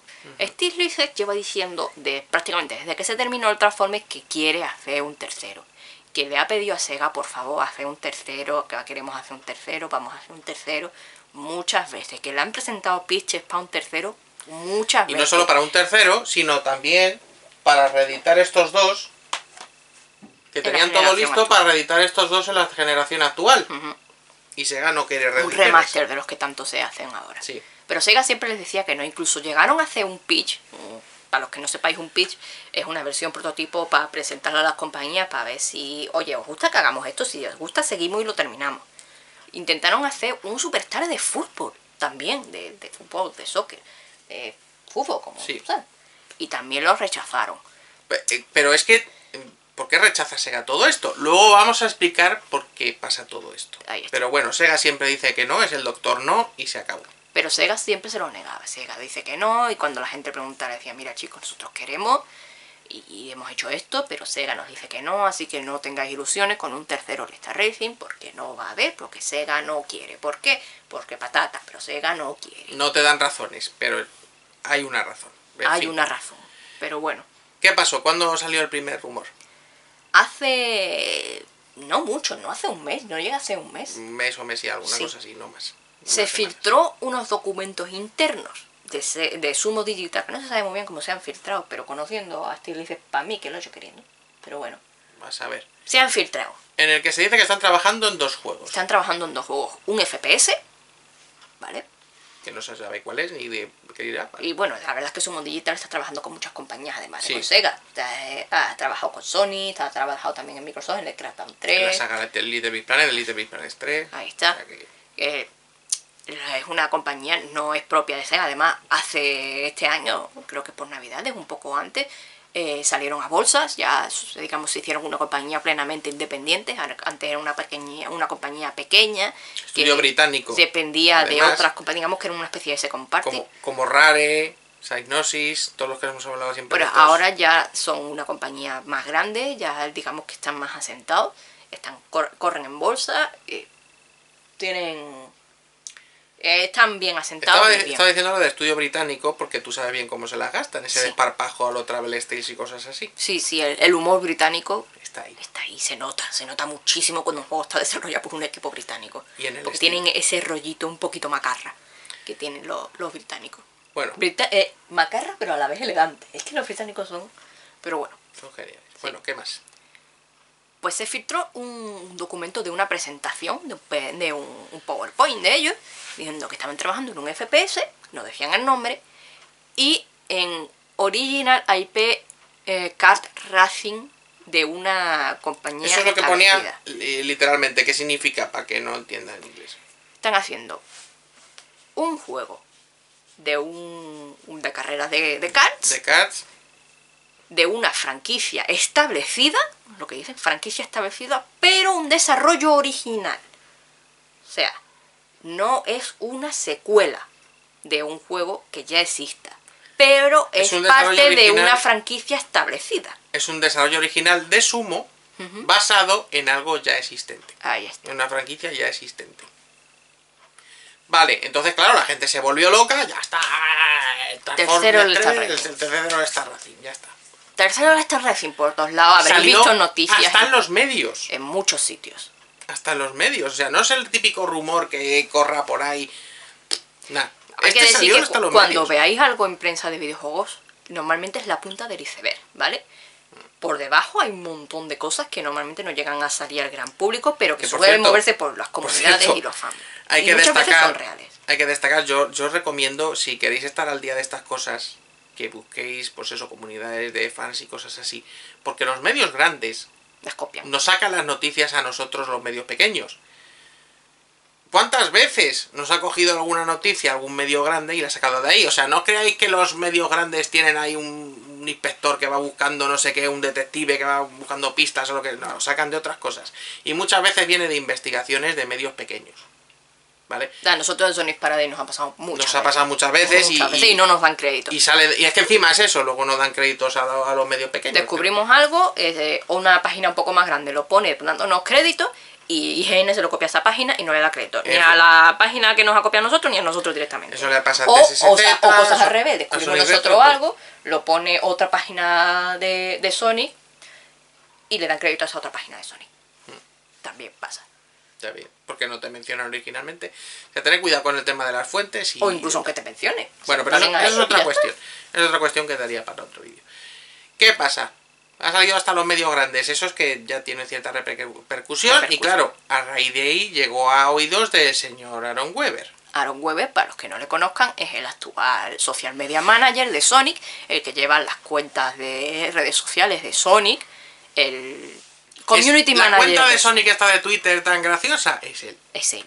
Y él es un tipo de la comunidad que conoce muy bien la comunidad, está muy en contacto con la gente, Es es un fan. de Sonic de todo, bueno, Sonic y de Sega de toda la vida, y la verdad que tenemos mucho que agradecerle. Y él cogió en su cuenta personal, no en la de Sonic, La cuenta personal suya, no la de Sonic ni en la de... La cuenta personal suya de Aaron Weber. y dijo, chicos, lo siento mucho, pero este rumor de All Star Racing es falso. No hay una secuela de All Star Racing Transform eh, en el horno. Él dijo concretamente un ASRT 3. No hay una SR3 eh, en desarrollo. Y dices, bueno, bueno, puede estar troleando. No. No. Cuando lo Si- dice no está Si él troleando. pone eso así en su cuenta Es que es así. personal, es que es verdad. De, y él no, él no suele poner en su cuenta personal cosas relacionadas con Sega de este tipo, porque es así y es verdad que tampoco ganaría nada porque te está buscando un lío realmente. Claro. Pero si lo dices porque de verdad No sabe que hay mucha ilusión por un tercer All Star Racing y no llevéis un chasco que no hay un tercer All Star Racing. Eso es. Eso. ¿Qué pasa? Que días después, porque ya habíamos terminado la historia, ya habíamos dado por perdida. Mucha bueno, pena, Se acabó. Hay que ver Sega que no quiere, que no quiere. Hay que ver que está Sumo intentando y Sega no quiere. Pero unos días más tarde, Unos días más tarde, en una feria de juguetes de Alemania, creo, sí, la Eh, Toy no sé qué se llamaba. sí. eso eh, presentó una compañía, no recuerdo, creo que fue Tommy. No, no era Tommy, era, no era una marca conocida de Bueno, juguetes. una compañía de juguetes. Mm, puso su stand de juguetes y llevaba un montón de juguetes de All Star Racing Transform. Sí, de este. De del ese, segundo. Del segundo All Star Racing. Que ¿Vale? salieron un montón, ¿eh? De, Sí, los, sí. de los dos, de hecho. Del, de hecho, todavía se pueden encontrar en tiendas. Sí. Es relativamente común verlo. Incluso había packs del juego con, con figuritas, incluso coche radio control y cosas Hay cosas muy chulas. Hay un, hay un muy chulo y hay un montón de cosas. La cosa. Pusieron esas figuritas y, Y fue claro. en la página spindash.d. Es que claro, hay que entender esto, dices, vas a una feria de juguetes, una especie de E3 de juguetes, y llevas unas figuritas que llevan años en el mercado. Sí. Es Qué un raro. poco raro. Porque dices, ¿por qué llevan juguetes viejos estos aquí? Y claro, a nuestros amigos de Spindas D, que son uno de los pequeños medios de, de Sonic, que luego no acreditan las webs grandes, Ahí pues está. dijeron, oye, pues lo mismo que nos habría pasado a nosotros mismos, que de hecho nos ha pasado alguna vez cosas así, esto no encaja. Vamos a ir a preguntarles Vamos a, a los preguntar. señores. Ellos estaban en la feria de juguetes y fueron. Y le dijeron, oye, ¿y esto? ¿Por, ¿Por qué, tenéis estos juguetes de Transformers? Y nos dijeron, no, no, es que estos juguetes de Transformers son un placeholder. Nosotros vamos a hacer ¿Qué es los un juguetes- placeholder? Espérate porque es un palabra raro que a lo mejor no otra gente va a entender. Es, es un, pues un relleno. Un placeholder es algo que se pone, lo que dice literalmente placeholder, un aguanta sitios. Algo que se es. pone mientras que no puedes poner otra cosa. Algo, eh, digamos, hay un... Eso es. para aguantar. Porque no puedes ponerlo otro. Un sustituto temporal. ¿Y era un placeholder de qué? Mira, digo, no, es que nosotros no vamos a tener los juguetes de Transformers, nosotros estamos usando los de Playholder porque vamos a tener los juguetes, nosotros vamos a ser fabricantes de los juguetes del nuevo juego de carreras de Sonic. Que va a salir este año. Que va a salir este 2018. año. Y que como todavía no está anunciado, no, No podemos, podemos enseñar No nada. podemos mostrar. No Entonces podemos por eso traemos nada. esto en plan, mira, tenemos juguetitos de, de Sonic de montar un coche, pero no podemos mostrarlos porque el juego todavía no se ha anunciado. Ahí está. ¡Chan, chan! Chan chan. Chan, chan. Porque- Pero sí dijo Weber que no había ningún Pero espérate, juego es que, es que dirán, pues se lo estará inventando. No, juguetera, una compañía de juguetes no se va a inventar esto. No. No van a llevar juguetes viejos a una feria para inventarse esto, porque encima se pueden meter en un problema legal serio. Además que ellos no están en contacto en rumores de videojuegos ni nada, es una compañía juguetera. No ganan nada, no les importa absolutamente nada. Ellos de verdad han llevado allí un placeholder de unos juguetes basados en un nuevo Sonic de carreras. Eso solo se puede significar una cosa. Que hay un Sonic de carreras en desarrollo. Efectivamente. Y Y así es. Se publicó, la mayoría de la gente diciendo, no, no, esto es una noticia antigua. Si dijo Weber que ya se había desconfirmado. una-". No, amigos, leerse las noticias antes de comentar. ¿vale? exactamente, no vale con leer el titular y luego No, correr no, a no. comentar como Leerse las noticias, porque las cosas no siempre son lo que parecen. Pero Eso es, bueno, Eso es. Que no, anda que no ha venido gente con "Eh, que esto está inventando la noticia si ya lo desconfirmó Weber. que no es lo Es otra mismo, noticia posterior, ha pasado No es otra lo cosa. mismo, ha pasado más cosas. Pero bueno. Vale, ya dijimos aquí, uy, y ahí fue cuando escribí yo ya el artículo. Y justo después de escribirlo pasó algo más. Ahí está. Han Pasaron dos cosas rumores. más. Está. ah, no recuerdo si se hace llamar Roger. Creo que sí, se hace llamar Roger. Y eh, Sugex. Dos personas, dos insiders. Roger es una persona que comenta con ese nombre, obviamente supongo que no es su nombre real. Algo parecido al Wentos de 4chan de hace un montón de años. Los que estéis en la comunidad de Sonic os sonará Wentos. Aparte de ser un personaje de, A, de a All los que Star no, resúmele un poco quién es. Ahí está. Aparte de ser un personaje de Sonic Unleashed, es, en 4chan hubo una época en la que aparecía Cuentos, alguien que se hacía llamar Cuentos de Traveler Salesman, que posteaba rumores de Sonic que luego se confirmaban, ¿vale? Cuentos dijo mucho tiempo antes de que se anunciase Sonic eh, eh, Unleashed que iban a sacar un juego en el que Sonic se iba a convertir en hombre lobo y iba a estirarse los brazos para agarrar cosas como en el Rista. Y la gente lo tomaron loco, por claro. coña, obviamente, porque ¿quién se le iba a ocurrir eso?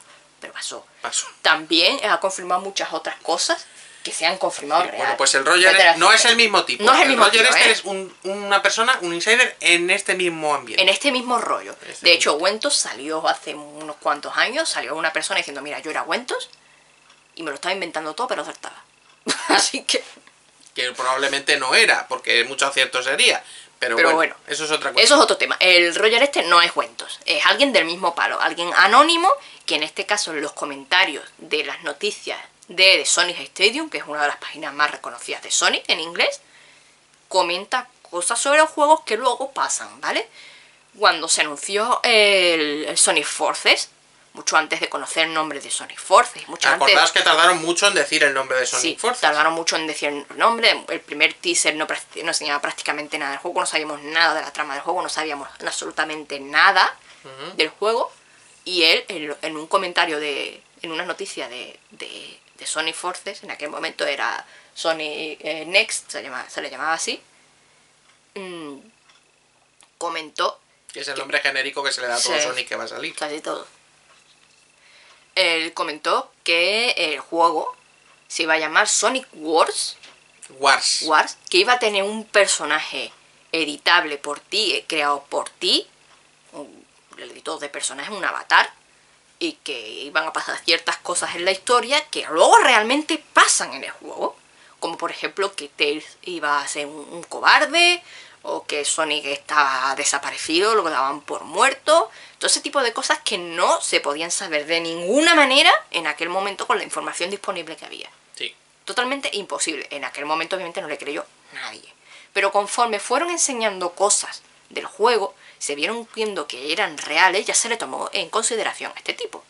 La cosa es que Roger ha vuelto a aparecer y ha dicho que ya que ha saltado la liebre, que ya no tiene sentido esconderlo, que sí, que efectivamente hay un Sonic de carrera, pero que no es un All-Star Racing, no va a tener personajes de Sega, solo va a tener personajes de Sonic. Lo que hace que Weber no nos mintiera. Ahí está. Él dijo que no iba a haber un All-Star Racing 3 y era verdad, no va a haber un All-Star Racing 3. hay un juego de carreras de Sonic, solo de Sonic. Eso por un lado. Luego está Fugex, que es uno de los moderadores de Resetera. A que- que yo recomiendo seguir en Twitter sí, porque pone cosas Twitter, muy Pone interesantes. cosas muy, muy interesantes, es otro insider. Eh, hay un hilo en Resetera, Resetera para los que no lo conozcáis, con- si conocéis NeoGAF, NeoGAF era el foro de, de juegos más grande del mundo, donde eh, confluían muchos desarrolladores, muchos insiders y también mucho público. Eh, NeoGAF tuvo una serie de problemas que hizo que se fuera al traste y el grueso de la gente que escribía en NeoGAF se mudaron a un nuevo foro que se llama Reset Era. Y digamos que Reset Era es el nuevo NeoGAF, ¿vale? Pues en el hilo de, de los rumores de este Star Racing, de este juego de carreras, sobre en, en ese foro, posteó Zuki diciendo... Es que la "Ay, gente estaba, la gente estaba haciéndose ya sus mm, fantasías sobre qué personajes de Sega iban a meter en este Ahí nuevo está. juego. Y dijo, ay, qué desilusión os vaya a llevar, ay, qué penita, que no va a tener personajes de Sega. Ahí os haciendo a la idea, pero no os preocupéis, que los que os gusta Sonic os va a encantar, porque tiene cosas muy chulas para los fans. Y ahí se quedó la cosa. Ya Vamos, está. que hay un Sí. Sonic de carreras en Y desarrollo. el Suges este lo dijo también, También más o menos a la misma vez que Roger, así que no creo que se hayan copiado el uno del otro. También hay otra cosa, y es que eh, se anunció para marzo un evento de Sonic, Ujú. o sea, en un evento de la SXSW. el RSXSW, el South by Southwest, que es Dijeron un, que- es un evento no solo de juegos, es un evento en plan Comic Con, ¿vale? Sí. Donde se reúne cosas de cine, de cómics, de películas, de animes, una convención grande donde ya se está haciendo tradición, porque el año pasado pasó y creo que el anterior también, pero bueno, ya llevan haciendo unos cuantos años que el, el equipo de social media de Sega, de Sonic concretamente, hace una conferencia en esa eh, en ese evento para hablar de cosas de Sonic, ¿vale? Y dijeron que iban a anunciar el siguiente paso de la franquicia de Sonic, que la gente pues dijo, yo que sé, será algo de los cómics o lo que sea, porque este año no esperábamos ningún juego. No, Pero es bastante posible que anuncien ahí este nuevo juego. ¿Y Sí. esa, eso qué evento cuándo es? marzo, el 16 de marzo. Sí que está atento a poner el calendario 16 de marzo, porque es bastante posible que salte la liebre. De hecho, en ese evento, lo que han dicho en, en el resumen para presentar la presentación que se puede leer en la página web, lo que dicen es que van a hablar del éxito de Sonic Mania y Sonic Forces, que es cosa, cosa que deberíamos comentar, el éxito de Sonic Forces. Sí, Sonic Forces ha tenido éxito, aunque a mucha gente le está jodiendo, es como si se estuvieran bañando en ácido. Sonic Forces ha tenido mucho éxito. y vendido muy bien. bastante bien. Yo ya lo dije, lo dije cuando mm, anunciaron que el juego iba a salir en China. Digo, le pueden llover todos los palos del mundo que este Sonic va a vender bien, porque eh, cada vez que sale algo en China, Vende. Lo revienta en ventas. Es, es tremendo. Y Sonic Forces ha vendido muy bien. Pues van a hablar de eso. eh, Manía éxito también, de- por cierto. claro. Van a hablar de Sonic éxito, del éxito de Sonic Mania y de Sonic Forces y del futuro próximo de la franquicia. Ujú. Ahí pro- muy probablemente hablen de los cómics de IDV que ya están a puntito de salir, salgan en abril. A lo mejor nos enteramos de algo de la película, que está también todavía Puede en el ser aire. que digan algo de la película. De los cómics casi seguro porque uno de los invitados es Tyson Hughes, que Tyson Hughes eh, es el que hizo la, la animación de, de la intro de Sonic Mania, pero también trabaja muy activamente en los cómics de, de IDV de, de Sonic, que es uno, ser uno de los dibujantes. También fue dibujante de la etapa Archie. Así que eh, muy probablemente se hable de los cómics, aunque también se hablen de más cosas. Y va, va a haber movida. Y bastante probable que se anuncie este Ahí está, probablemente después de que te hablen de ventas, después que te hablen de los cómics, al final te pongan un tráiler del juego de carrera. O es. a lo mejor ni el tráiler, te digan vamos a hacer un juego de carrera, porque suele que pasar. ya, ya hay rumores que apuntan a que podría salir a finales de este año. Sí. De hecho, también había informaciones que decían que podía haber salido ya, pero que... Exactamente eso lo dijo Roger. Roger dijo que el juego estaba planeado para salir en el primer cuatrimestre de 2018, o sea, ahora, pero que se va a retrasar a final de año. ¿Por qué? No sé. Pero A ver si es que le han dado más tiempo de desarrollo y no Hmm. le pasa como al Transformer. Es posible. Hombre, supongo que si tarda tanto por algo es, ¿no? Porque sí. Si lo tenían preparado para ahora y no va a salir ahora, Eh, eh, también hay que tener en cuenta que lo más probable es que salgan todos los sistemas. Porque eh, igual que esto salieron todos los sistemas, y claro, sacar un juego en tantas versiones lleva su Ya tiempo. sé, eso cuesta. Lo más seguro es que salga en Switch, en One, en Play 4 y en PC. lo más probable. Vita no creo. Pero en Switch seguro. Y bueno, eso es más o menos lo que se sabe. Ahora podemos hacer nuestras especulaciones, que también es interesante. ¿Cómo pensamos nosotros que puede hacer ese Pero juego? antes de eso hay que explicar por qué pasa todo esto. Bueno. Y hay que explicar por qué Sega quita los personajes de Sonic. Porque evidentemente es Sega. Porque está toda la gente. ¡Ah, pero esto qué es! ¿Pero por qué sacan eso sin personajes de Sega? Si yo compraba el juego porque estaban los personajes de Sega, no sé qué, se arma un circo bastante notable. Y hay que explicar por qué ha pasado esto. A ver, los primeros que nos gustaría que estuviesen personajes de Sega y que nos gustan más cuando hay personajes de Sega somos nosotros. Pero entendemos por qué Sega ha hecho esto. ¿Por qué Sega se negaba una y otra vez a hacer ahora de todo este tipo? encaja. Ahora entendemos por qué Sega se negaba y por qué ahora sí ha aceptado. ¿Por Y qué? es precisamente por eso, por Sonic. Un juego solo. Bueno, de- no por Sonic. No, pero lo que implica Sonic, quiero decir. Sonic es la franquicia más reconocida en Occidente de Sega. Eso es así, Y le guste o, le- o no le guste a quien sea. Eso es y así. sigue vendiendo, no hay otra. sigue vendiendo espuertas a pesar de las lluvias de odio y ahí está Forces para demostrarlo y no solo porque haya salido en China ¿eh? que aquí también ha vendido bastante bien es decir Sonic sigue vendiendo muchísimo Mm. Muy bien. Tan lejos de estar muerto. de muerto Muy lejos. no nada nada de nada Ahí. sigue vendiendo muchísimo vale y Sega lo sabe y Sega sigue apostando por él por algo Ahí está. Si no vendiese, te lo aseguro yo que no había juegos de Sonic. lo que no vende se muere eso está comprobado Más que comprobar y más con Sega, que Sega no es una compañía con cariño a la franquicia precisamente. Al menos la Sega actual. Es una empresa que ve el dinero, como todas. Hay que tener en cuenta que ahora mismo la, la cabeza de Sega es Sega Japón. El resto de Sega no pinta prácticamente nada y que en Japón Sonic pues mm, tiene un éxito bastante discreto. Por no decir casi Entonces, nulo. os garantizo que Sega Japón no haría nada de Sonic si no fuera porque le sigue dando dinero. Bueno, pues ¿qué pasa? Eh, ¿Por qué en este está Sonic y no hay personajes de Sega? Porque dices, vale, es que en el otro estaba Sonic también y vendía porque estaba Sonic, pero también había otros personajes de Sega. Bueno, pero es que estos personajes de Sega no sale gratis ponerlo. Ahí está. De hecho, es una complicación bastante notable todo este proceso que os hemos estado hablando antes. De, eh, vamos a poner a fulanito. Venga, pues venga, vamos a ver si podemos poner legalmente a fulanito, vamos a hacer el focus group, todo esto, todo eso lleva un coste. Y por supuesto está el tema de licencias que hay que pagar licencias nuevas, hay que renovar licencias, hay que hacer todo esto. Todo eso lleva un coste. Poner a fulanito en el juego no es tan barato. Ahí está. Por ejemplo, pongamos el ejemplo de Jesse Radio, que es un ejemplo muy sencillo. Jesse Radio es una franquicia de Sega, sí, pero no fue desarrollado por Sega internamente, originalmente, lo desarrolló Smilebit, que era un estudio de Sega. Pero luego Smilebit se desvinculó. Ya no ya siguió haciendo juegos por su cuenta con otros nombres y tal. Eso es. La licencia de Jesse Radio la tiene Sega. Pero a la hora de utilizar sus personajes tienen que preguntarle a Smilebit porque son co-creadores. y no solo eso, está la música también. La música es, por ejemplo, en Jesse Radio, otro el mismo, que es el ejemplo perfecto para esto. Sí, por eso La música de Jesse Radio hay mucha música que es licenciada a terceros.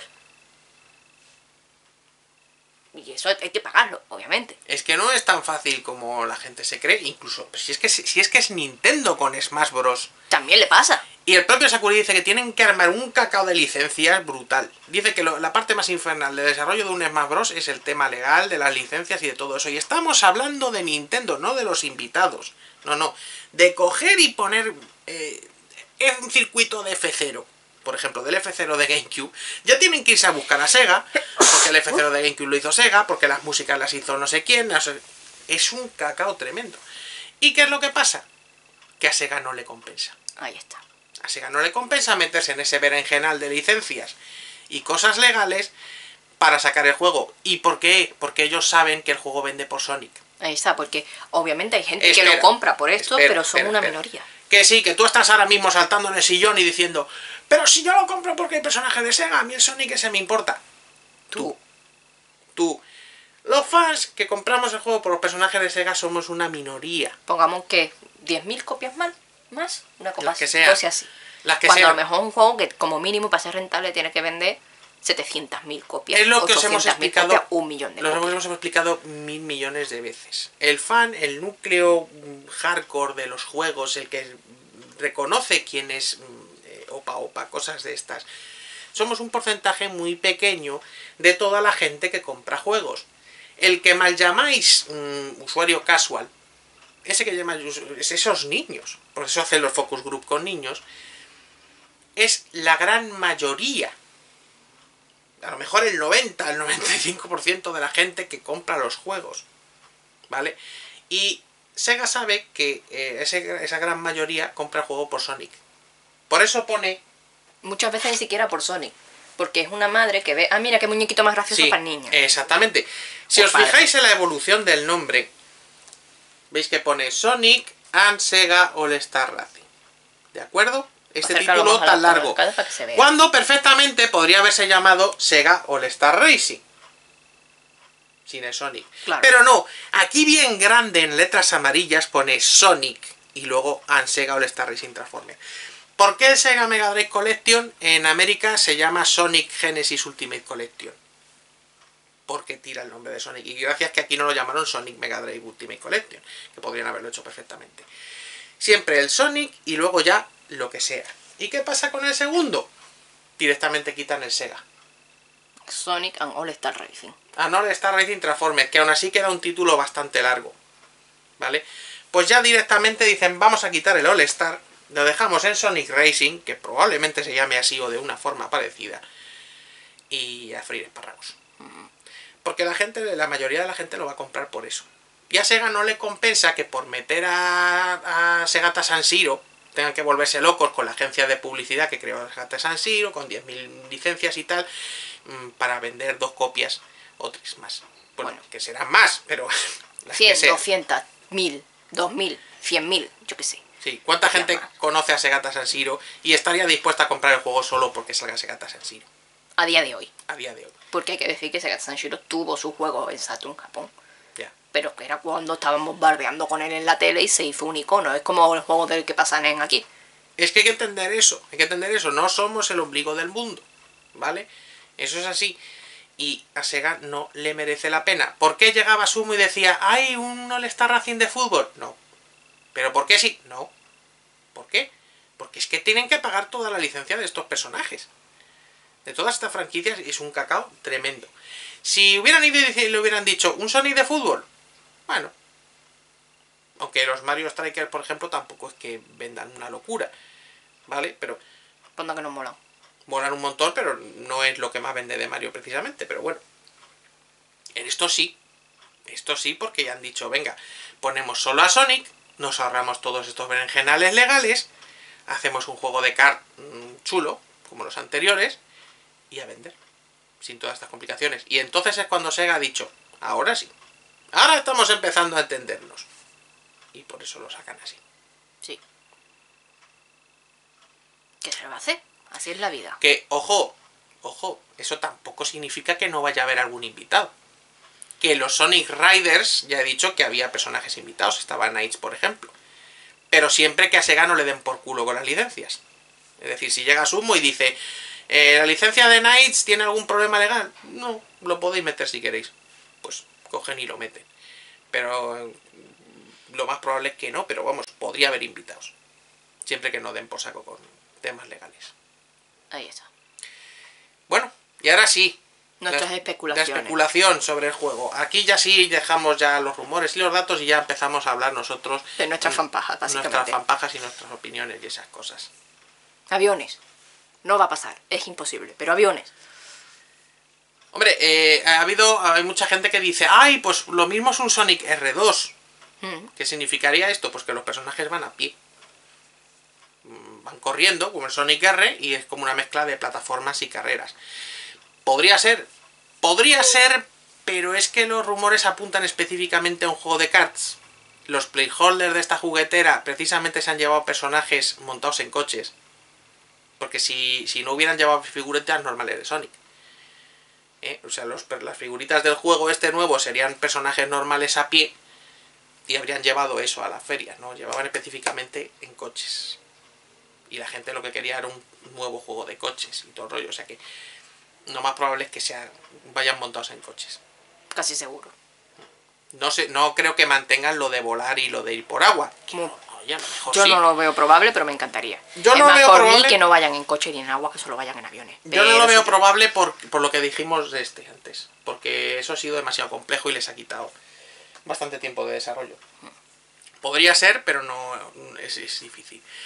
Luego, un Sonic Drift 3, pues mira, si lo quieres llamar así, pero no se va a llamar Sonic Drift 3 porque nadie se acuerda ya de los pobres Sonic Drift de Game Gear. ¿Vale? Y también había gente diciendo, pues oye, lo mismo es un Sonic Riders. Pero es que Sonic Riders es con tablas voladoras, el Sonic Riders es del Sonic Team, los hace el Sonic Team. La jugabilidad Es no, muy distinta. no se parece en nada a este tipo de cosas. Sonic Riders no se parece a Mario Kart, se parece más a F0, a Wipeout o una cosa así. No tiene nada que ver con ese tipo de jugabilidad. Entonces no veo yo a Sumo haciendo un Riders. Es más, yo creo que en esta vez van a aprovechar y van a hacer un juego más casual, por así decirlo. Bueno, la no conducción yo pienso que si quieren realmente les ha costado tanto hacerlo y quieren acercarlo tanto a público base para ganar dinero y tal, como se ve que están intentando hacerlo, quitarle los personajes de Sega y tal, yo creo que lo más probable o que hay una cierta posibilidad de que el, el sistema de conducción sea más sencillo, más parecido a Mario Kart. Yo ahí no, yo ahí no coincido con ella, yo creo que van a ir a esto. Van a ir al estilo del primero de Star Racing. Bueno, hay que tener en cuenta que esta jugabilidad más técnica no le gustaba a todo el mundo. Que hay mucha gente que pero- decía, a mí no, a mí no me gusta porque es que no me gusta cómo se conduce, que es que no tal. Yo creo que Sumo es Sumo. hacer Sumo es Sumo. En cierto modo van a querer dejar el mensaje subliminal de que es el Star Racing 3 que está pidiendo la gente, aunque no haya personajes de Sega. Y yo creo que para eso van a tirar más. para que se parezca a este. Pero bueno, eso ya es teoría nuestra. Teoría, no se sabe. Veremos a ver cuando salga o cuando lo enseñen, a ver Que, qué se... que lo mismo es algo totalmente nuevo, vete tú a saber. Lo mismo van montados en retroexcavadoras, vete tú a saber. Si es que No lo sabemos. no se sabe nada. No se sabe nada en absoluto. Bueno, tema de personajes. Pues hombre, evidentemente a que a Sonic se la bufa, pues va a aburrirse con el juego. Pero oye, para los fans está muy bien porque tenemos ocasión por fin de ver volver a personajes que estaban por ahí perdidos desde hace mucho tiempo. ¿Eh? Si en un si en estos hay un roster total de yo que sé, ponle 20 personajes y de Sonic solo eran 5 o 6, pues ahora imagínate un roster de 20 personajes de Sonic. Pueden aprovechar para poner personajes queridos que no suelen vérsele tanto o que hace tiempo que no se manejan. Porque esa es otra cosa que decir. Mucha gente le echa a los perros a la franquicia Sonic por sus zoológicos multicolor, porque los amiguitos de Sonic no valen nada y tal. ¿Qué quieres que te diga? Mm, hay muchos personajes en la franquicia de Sonic y la gran mayoría tienen mucho carisma.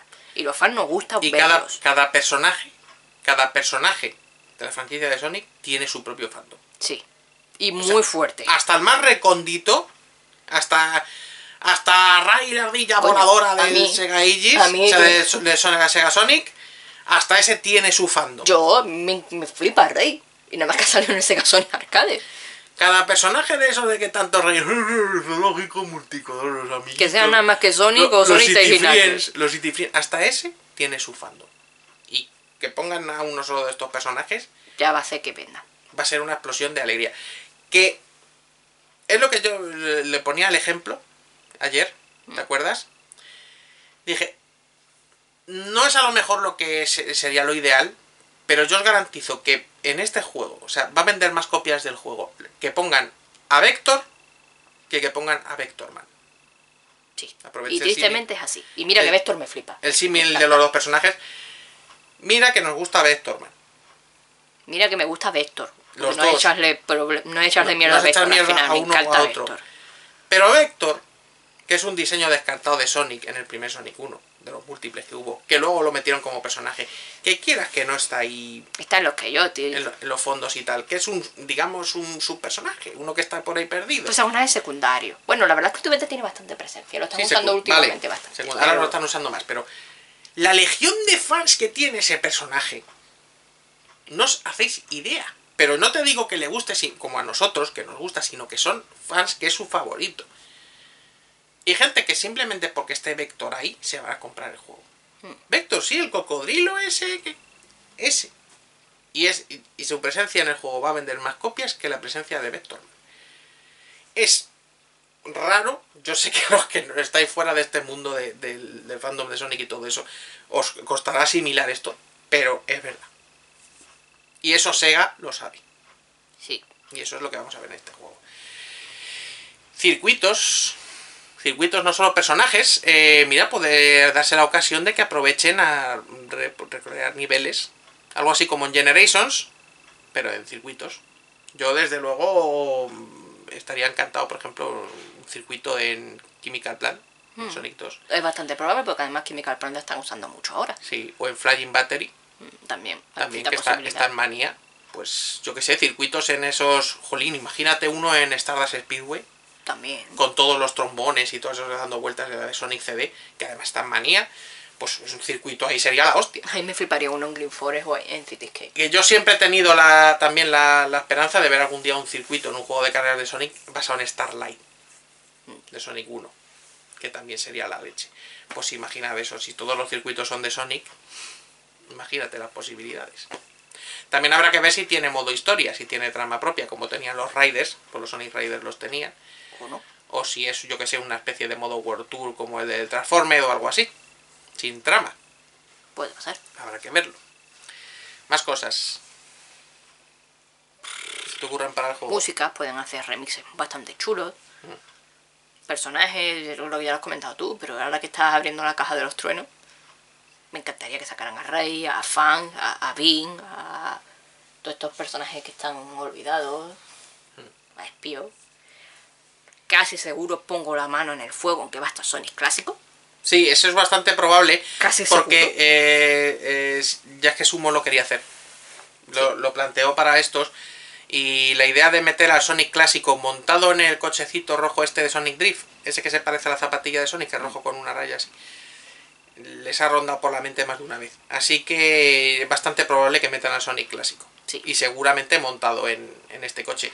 Y de hecho, pues, nada les impide venirse arriba y meter otros personajes clásicos. Mm. Aprovechando y metiendo este diseño a los Sonic Drift, Meter a Tails, a Knuckles, a Amy, a Eggman. Puede ser. Pueden hacerlo perfectamente. Y es más, yo voy más allá todavía y digo, ¿y si no hay invitados de Sega, pero hay invitados de Sega y Sonic? Como por ejemplo Yuji Naka o Takashi Iizuka. Eh, Conociendo a Sumo, mm, yo los veo capaces de meter a los directamente a los desarrolladores como jugadores. eh, no, Yo los veo haciéndolo. No. Es más, Takashi Iizuka ya estuvo en el Fighting Megamix. era un personaje Oculto, oculto, y no llegaron estaba. a meterlo. Era descartado. Pero estaba. No, yo no sé qué ahora mismo que le ha pasado a si se le ha ido yo la yo pinza, veo a Sumo haciéndolo, ¿eh? Yo no. Y a mí me encantaría jugar con No. Iizuka. Sería muy divertido. No, no les veo haciendo eso. Muy divertido. No les veo haciendo eso y no creo que lo hagan. Eh, tranquilos que no sé qué le ha pasado a. Se le ha patinado todas las neuronas ahora mismo de golpe. No me dejes por tonta, es verdad. Pues tonta no, pero hija mía, es que eso es una cosa muy rara. Yo no sé. Es una flipada, pero oye, que, que Sumo hace cosas muy raras. Que metieron a Segata. No lo veo. Son fricadas muy gordas. No lo veo yo. Pero bueno, que luego lo mismo sí, quién sabe. Y la locura que ha soltado aquí ahora. Mira, igual que no creía la gente del, el del Huerjo, pues el del Sonic and Leeds, pues lo mismo ha acertado ella ahí. Bueno, más cosas. Supongo que este sí saldrá en Japón. Como el, el Transforme, que hay que decir que el Y Transforme... en China. Y en China. El. Transforme que de- dijimos que íbamos a decir lo de Japón y al final no, no lo comentamos, lo sacaron más tarde porque había gustado mucho en Occidente, con cambios como por ejemplo meterle... Se ha vuelto a Transformed ahora, que Sí. quede claro. Le metieron cositas de Puyo Puyo y tal, que la versión de aquí no tiene. Sí, hasta que no hubo como comentarista, que eso es genial. Ojalá, ojalá me tiren hasta que no en este. No creo, No, pero ojalá. no creo. Pero yo que sé, lo mismo el comentarista, ya que dices tú que quieres meter a, a personajes reales, lo mismo el comentarista Weber, o vete tú a. Eso también estaría bien. No sé, puede... Ese tipo de cosas. Pero bueno, algún meme seguro que te mete. Lo mismo, Fijo. ahora que metieron la camiseta de Sonic en el en el Sonic Forces, lo mismo te pone a Sonic por DLC. Alguna coña seguro que mete. Seguro. Bueno, más cosas. Es que realmente no se me ocurre mucho más. Yo lo que tengo miedo es que lo hagan menos técnico y, y eso. Pero luego tú me dices No lo del plantel de personajes, porque creo que es lo que están intentando. Están haciendo un juego más accesible para que llame la atención a más Pero si es que público del que pero ya si es que llama. estos ya eran bastante accesibles de por sí. Esto no es un Dark Souls. No, hombre. Estos son bastante Pero es accesibles. más complejo que un Mario Kart o este- que este- un, un Crash Yo no creo que esto sea más complejo que un Mario Kart. Sí. O sea, La, las- la fi- conducción en este- es más realista. En este las físicas vale que son quizá demasiado exigentes, sobre todo cuando vas con la lancha y tal, pero yo este no lo veo más complejo que un Mario Kart. O sea, yo lo veo más... Lo veo bastante accesible, accesible, asequible. No sé. Porque, porque tú ya juegas a esos juegos, pero para alguien que no sabe jugar, No tiene sentido hacer eso. Si todo el mundo juega a Mario Kart, todo el mundo juega a Mario Kart. La abuela juega al Mario Kart, el nieto juega al Mario. Kart. Todo el mundo juega a Mario todo el Kart. mundo juega a Mario Kart, pero no todo el mundo juega a All Star Racing. Pero si la es que es la misma jugabilidad, es la no misma es sencilla. igual. No es igual. Por lo menos el primero. O sea que no creo yo que vayan a casualizarlo más y que no sé cómo vas a casualizar más algo así. En fin. Cosas. la física guapa y poniéndolo más sencillo. Pero ¿qué sentido tiene romper las físicas de un juego actual? ¿Qué van a hacer? ¿Que te atraviesas el suelo? No, hombre. Sino, yo que sé, que, Yo no, no sé, no, no. que no, el coche no sea tan pesado a la hora de torcer, que sea más ligero. No tiene sentido lo que está diciendo, pero bueno. Más cosas. Es que aparte de personajes chulos que puedan meter y que puedan meter cosas así guay antiguas, no se me ocurre más. No sé, yo le tengo bastantes ganas. Y, y hay una cosa que yo he dicho y reitero. Y es que, vale, jode bastante que no haya personajes de Sega, invitados y tal, pero sabemos por qué es. Y sinceramente, después de ver el caos mm, que provocó en Transformers todos estos temas legales y tejemanejes de empresa y de marketing y chorradas de estas, pues mira, casi prefiero que... Si me lo van a hacer como el primero el roster de personajes, vale. Es decir, si le van a dejar a Sumo cierta libertad y no va a haber muchos problemas legales para meter personajes, vale. Pero no va a pasar. Van a estar estos focus group, van a estar estas las licencias dando por saco, mm, las cuestiones de marketing y, y no. Entonces, para que me metan personajes raros o metidos de última hora con cazador o cosas así, casi prefiero que sea solo de Sony. Ah, también está la cosa de que siempre sale alguien que dice, ¿y por qué hacen juegos de carrera de Sonic en un coche si él es más rápido que un coche? Bueno, Yo eso que no le veo sentido a es la estos juegos por tontería, eso. es la eterna tontería. Es, es como el, el ¿por qué salen humanos en, en Sonic? ¿Por qué salen humanos en los juegos de Sonic ahora? Cuando Eggman lleva ahí desde el primer juego. No es una morsa. Es, es la típica tontería, eh, pero bueno, o sea, eh, ¿por qué es que hay que, hay que explicarlo siempre 20.000 veces? Hasta en el Transformer hacían bromas con eso ya. Sonic va en un coche mm, para darle una oportunidad a los demás de que le cojan, porque si va a pata no le alcanza ni Cristo. ¿Vale? Entonces, para que el juego no solo sea Sonic corriendo contra Shadow y Metal Sonic y poco más, pues lo meten en un coche. ¿Eh? Digamos que es Caballeresco. como una forma de nerfearlo para que los demás tengan una oportunidad de ganarlo, ¿no? Algo así. De hecho, en el primer All-Star Racing, cuando utilizaba el All-Star, mandaba el coche a hacer puñetas, se convertía en Super Sonic y, y vete a cogerle. Sí. Pues bueno, pues eso. Nada, que no, no, no digáis eso nunca por ahí, que es que queda muy cuñado. Que hace Sonic en un coche, que es que no queda bien. En serio, es que ya está más que explicado y, y es por un motivo. ¿No? Sí. ¿Por qué Mario corre lo mismo que Sonic en el Mario y Sonic? Porque es un juego, tampoco le tienes que buscar lógica. O sea, están equilibrados los personajes y ya está. ¿Por qué eh, Eggman corría tanto como Sonic en el Sonic 2? En todos. Y en el 3 and Knuckles. Cuando sale Eggman huyendo de Sonic, que vas a toda velocidad y por más rápido que vayas, incluso con Super Sonic, Eggman te mantiene la velocidad. ¿Eh? Son juegos, puñetas, o sea que tampoco hay que... Hay que buscar el realismo, desde cuando los, los erizos se- son azules y pueden convertirse y pueden correr a velocidades supersónicas y, y de respirar en el espacio. Es que son la- las cosas estas de buscarle de 10.000 pies al gato. Pues bueno. ¿Algo más? Mí es que no se me ocurre nada. Yo es que hasta que no vea un poco, no, no sé. Para mí, yo ya te lo he dicho. Está bien, entiendo por qué Sega está haciendo esto, lo comprendo. Y es más, lo apoyo porque me parece que como movimiento de, marque- de mercadotecnia y de marketing está bien. A mí me fastidia que no haya personajes de Sega. Yo Pero ya, bueno, yo ya lo he dicho, es que sabíamos ya de antemano que Sega decía que no. Que no, que no, que no, que no. Y si eh, se hubiera mantenido la propuesta de un All-Star Racing 3, nunca hubiera salido. Entonces yo, sinceramente, entre que no me saquen nada o me saquen este, prefiero mil veces que me saquen este. Que ya he visto por ahí algunos decir, "Oh, pues es que para que saquen eso, que no saquen nada. Dice, bueno, ¿y tú qué ganas con que no saquen nada? Tú juega lo que te dé la gana y deja que los demás jugamos con lo que queramos. si para ti es mejor que no saquen nada, no lo compres, que es como si no lo hubiesen Exactamente, sacado. si no te gusta porque no tiene personajes de juego de, de, de Sega, pues te compras el Mario Kart, que a lo mejor ese sí tiene personajes de Sega, ¿no? En fin, eh, no sé, la gente no. Siempre eh, diciendo que si algo no le gusta a ellos no debería existir, cosa que no entiendo. Pero bueno, típicas cosas. Ya, bueno, está como lo de los personajes Pucci que también me tocan bastante. Bueno, vale, eso es otra cuestión. Pues nada más, ¿no? Creo que sí, no hay mucho más. Que a ver qué nos enseñan, que ya falta muy, muy poquito para que llegue este 16 de marzo y a ver si enseñan esto, porque lo mismo no. Sí, Porque lo mismo estamos ahí todos esperando el, el juego de carrera, el juego de carrera y al final no enseñan nada. Que suele pasar mucho en este tipo de eventos, que va la gente con el hype por las nubes, van a decir tal. Y luego mismo- no dicen nada. lo mismo lo anuncian otro día cualquiera o, o yo qué sé. Está, no, Pero ah, eh, nosotros dejamos la puerta abierta que estéis atentos. si Podría pasar. Pero puñetas, si no lo anuncian, no volváis locos. Que la gente es muy de hacer eso. Además, podéis estar tranquilo que esto casi en un 95% va a pasar.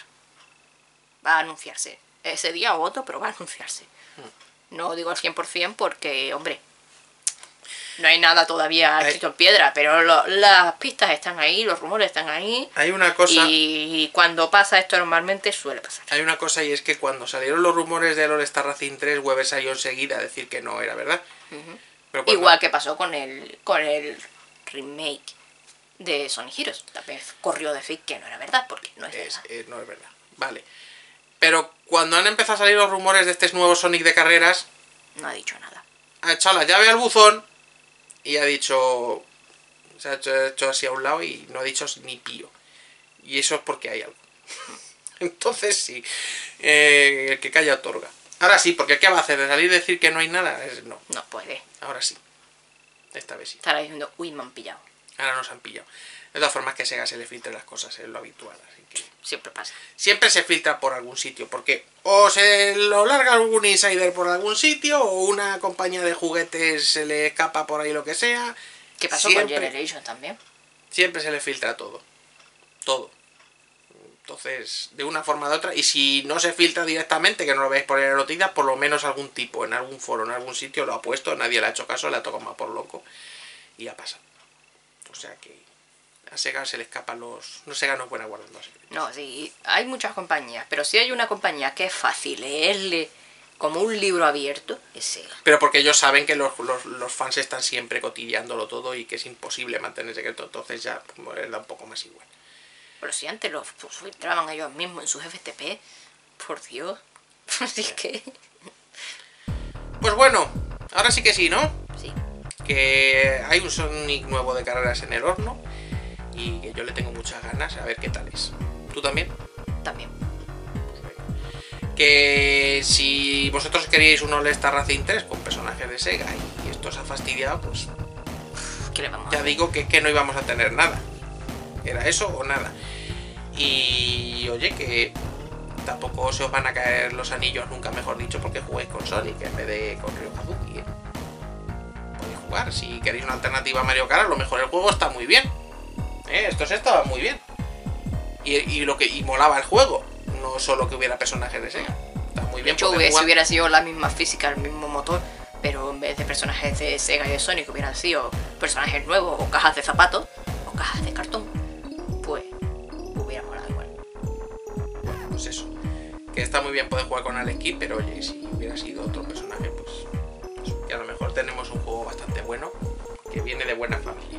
Y si no os gustan los amiguitos del zoológico multijugador de Sonic, te coges a Sonic. Te coges a Sonic clásico, que va a estar seguro.